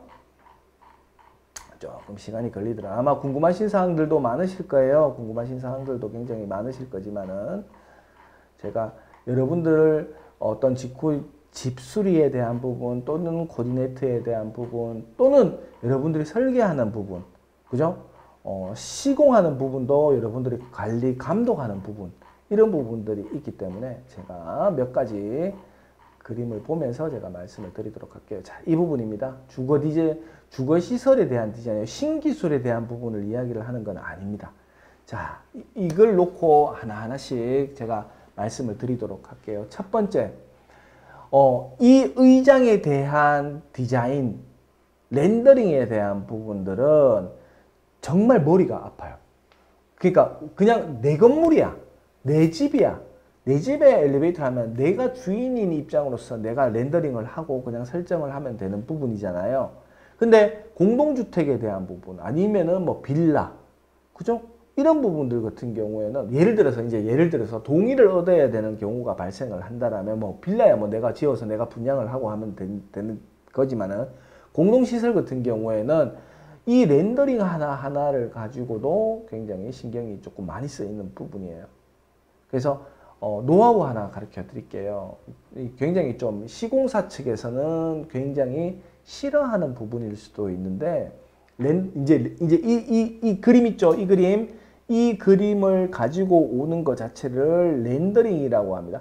아마 조만간 어, 한 5년 내 개인적인 생각으로 5년 내로는 아마 이게 3D로 아마 렌더링이 되, 되어 올 수도 있을 거예요. 그러니까 이거 가지고 오면은 보통 시공사에서 한 세 가지 종류로 이렇게 가지고 와요. 여러분들 지금 눈 보이시는 이거 이 모양은 굉장히 고급스러운 겁니다. 금액도 좀 많이 나가는 거예요. 이게 아니라 STS 가지고 이렇게 가지고 오거나 HTM을 가지고 오거나 뭐 그렇게 가지고 올 거예요. 가지고 오면은 렌더링 세 개를 가지고 결정하지 마시고 그죠? 조금 더 요구를 하시는 것도 저는 좋다라고 생각을 해요. 그래서 세 개의 디자인을 보고 예를 들면 이거 하나, 이거 하나, 이거 하나 이렇게 갖고 왔어. 근데 나는 이 모양이 이렇지 않아. 그러면 조금 더 요구를 하시고 결정을 하시기 바랍니다. 지금 엘리베이터를 잘 모르시니까 우리 발주자 측에서 그냥 이, 아, 나 무조건 이 세 개 중에 이렇게 골라야 되는구나 생각을 하시고 하시는데 아마 여러 아파트들 또는 여러 엘리베이터 모양들을 보시면서 아, 요렇게 하니까 이게 조금 이쁘더라. 그죠? 그런 것들 느껴가면서 렌더링을 하시는 게 저는 좋다라고 생각을 합니다. 이렇게 되는 부분이에요. 그래서 렌더링 어, 하는 부분하고 그 다음에 이제 계약적인 부분이 있습니다. 계약적인 부분이 있는데 여러분들 엘리베이터는요 반드시 이제 리모델링도 마찬가지고 신축도 마찬가지고 실측이라는 부분이 있어요. 실측. 실측이라는 부분이 있는데 자 보세요. 자, 제가 여러분들 우리 뭐 엘리베이터 한 대를 설치하고 싶습니다. 그러면 각 사에서 오셔가지고 이렇게 얘기를 하겠죠. 영업 사원들한테 전화를 합니다. 전화를 하면은 일단은 뭐 그쪽 나름대로의 제품들을 자랑을 하면서 홍보를 하겠죠. 홍보를 하면서 이렇게 이 제품을 이런 제품들이 있습니다. 또는 예상 금액은 얼마가 되겠습니다. 그렇게 하고 아니면 또 입찰인 부분들도 있으니까 그런 시간이 끝나고 나서 예를 들면 자 계약을 하고 낙찰이 됐다고 칩시다. 그러면 시방서에 대한 부분들도 굉장히 중요하게 여기시고요. 시방에 대한 부분도 좀 디테일하게 들어가셔야 되는 부분입니다. 그리고 계약을 하고 나서 한 대가 됐든 몇 대가 됐든지 간에 반드시 실측에 대한 요구를 강력하게 좀 요구해 주시기 바랍니다. 그리고 같이 동행도 좀 하시고요. 그래서 실측을 해서 어, 정확하게 이 실측을 하고 거기에 맞는 도면을 가지고 오는 것이 품질에 굉장히 도움이 돼요. 그리고 나서 제작 기간이 들어갑니다. 제작 기간. 제작 기간이 들어가고 제작을 하 이제 죄송합니다. 제작 기간이 들어오고 나서 제작을 다 하고 나서 자재가 이제 반입이 되겠죠.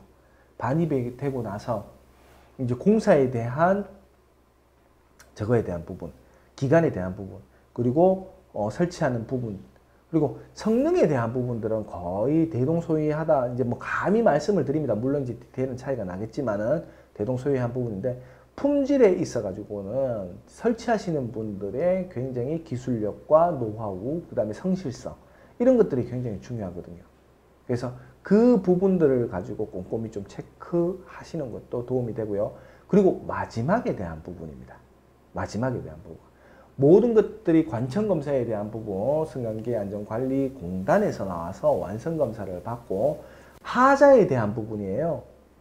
하자. 하자를 할 때 꼼꼼히 체크를 하셔가지고 일정 하자 기간, 품질 보증 기간은 일반적으로 3년에 대한 부분하고 그 다음에 무상 보수의 기간은 한 6개월 정도에 대한 부분을 두고 있습니다. 두고 있지만 그거는 뭐 계약 당사자에 따라서 달라지는 부분이고 그렇게 된다면 하자에 대한 부분이 모든 것도 완공과 준공에 대한 개념을 조금 나누어서 이야기를 하시고요.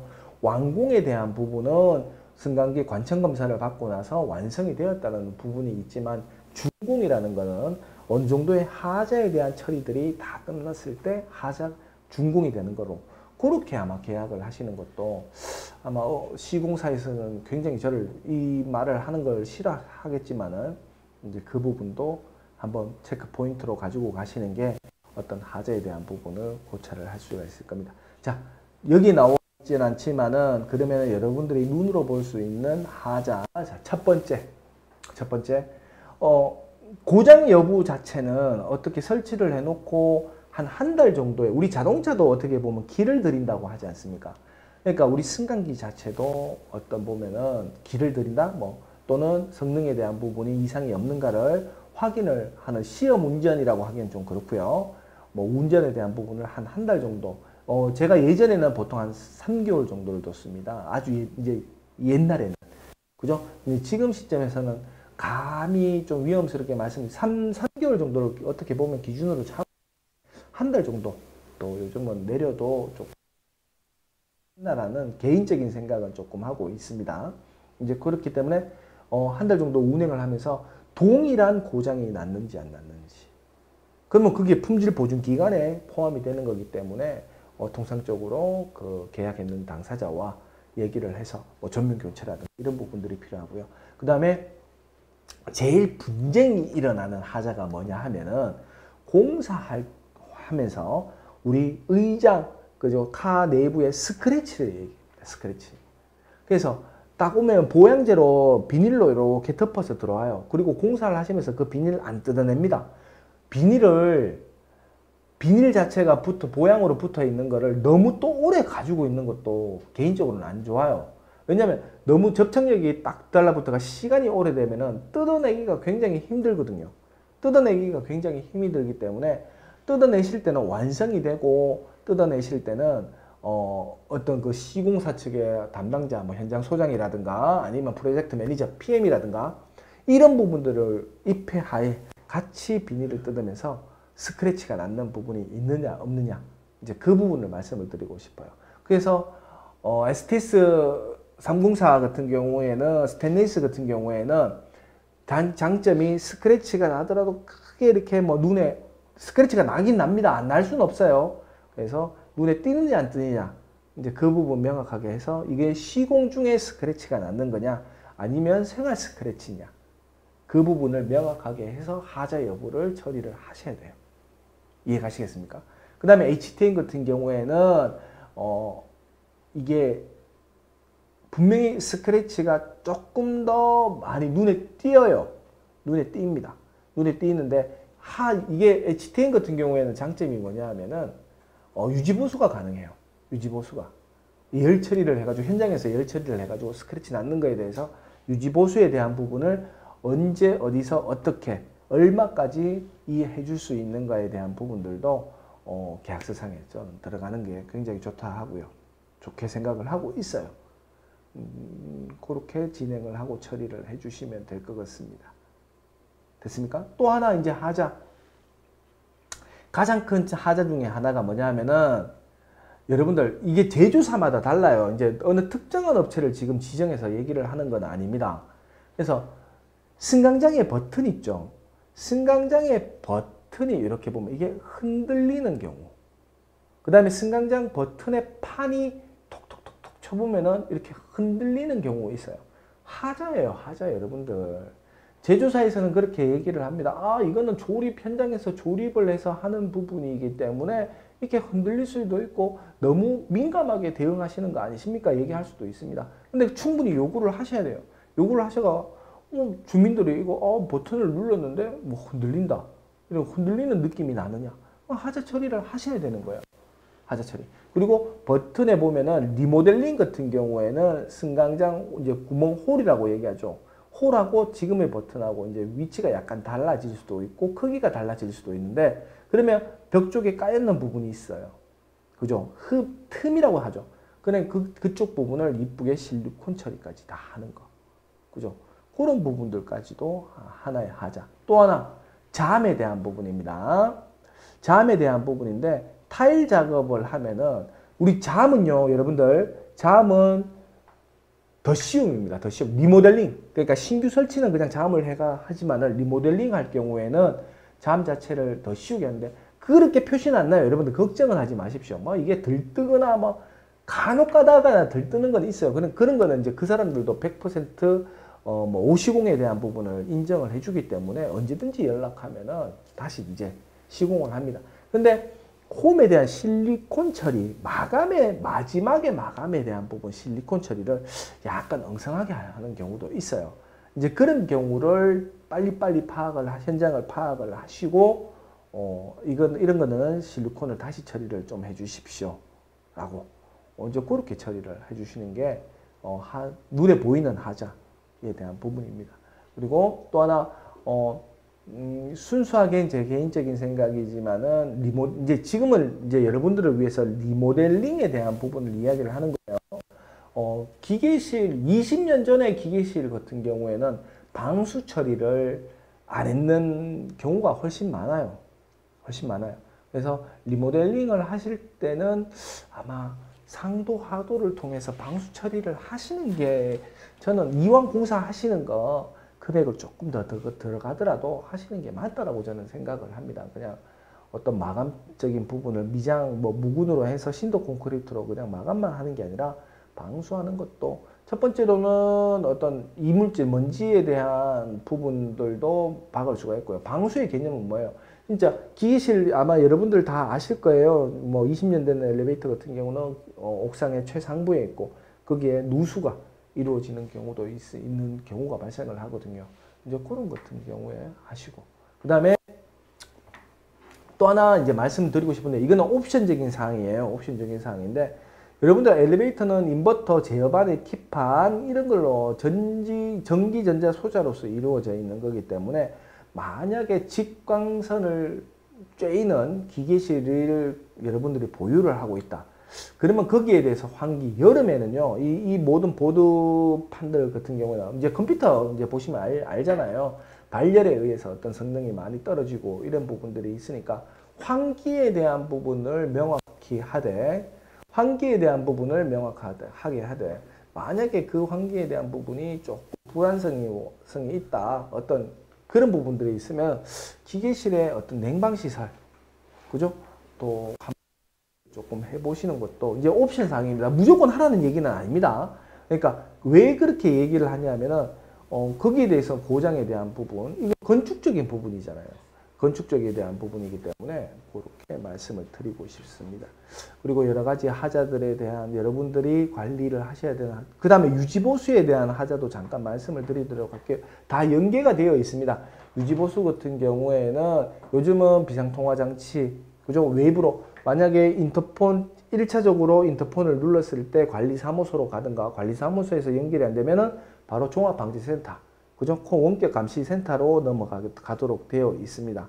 이제 그렇게 되어 있는 부분인데 어, 어떤 고장적인 처리 신규를 할 때 어, 입찰을 내실 때 종합방지센터가 뭐 중소기업센터도 물론 있겠지만은 뭐 지급자재에 대한 부분도 있겠지만은 어, 30분 이내에 도착을 할 수 있는 유지보수 업체에 대한 부분을 선정을 하시고요. 그죠? 그 다음에 로프, 로프나 sheave에 대한 부분들도 교체 주기에 대한 부분을 이야기를 할 때 막연하게 아이고 로프 오래 써서 교체를 해야 됩니다. 뭐 이런 부분들은 아니에요.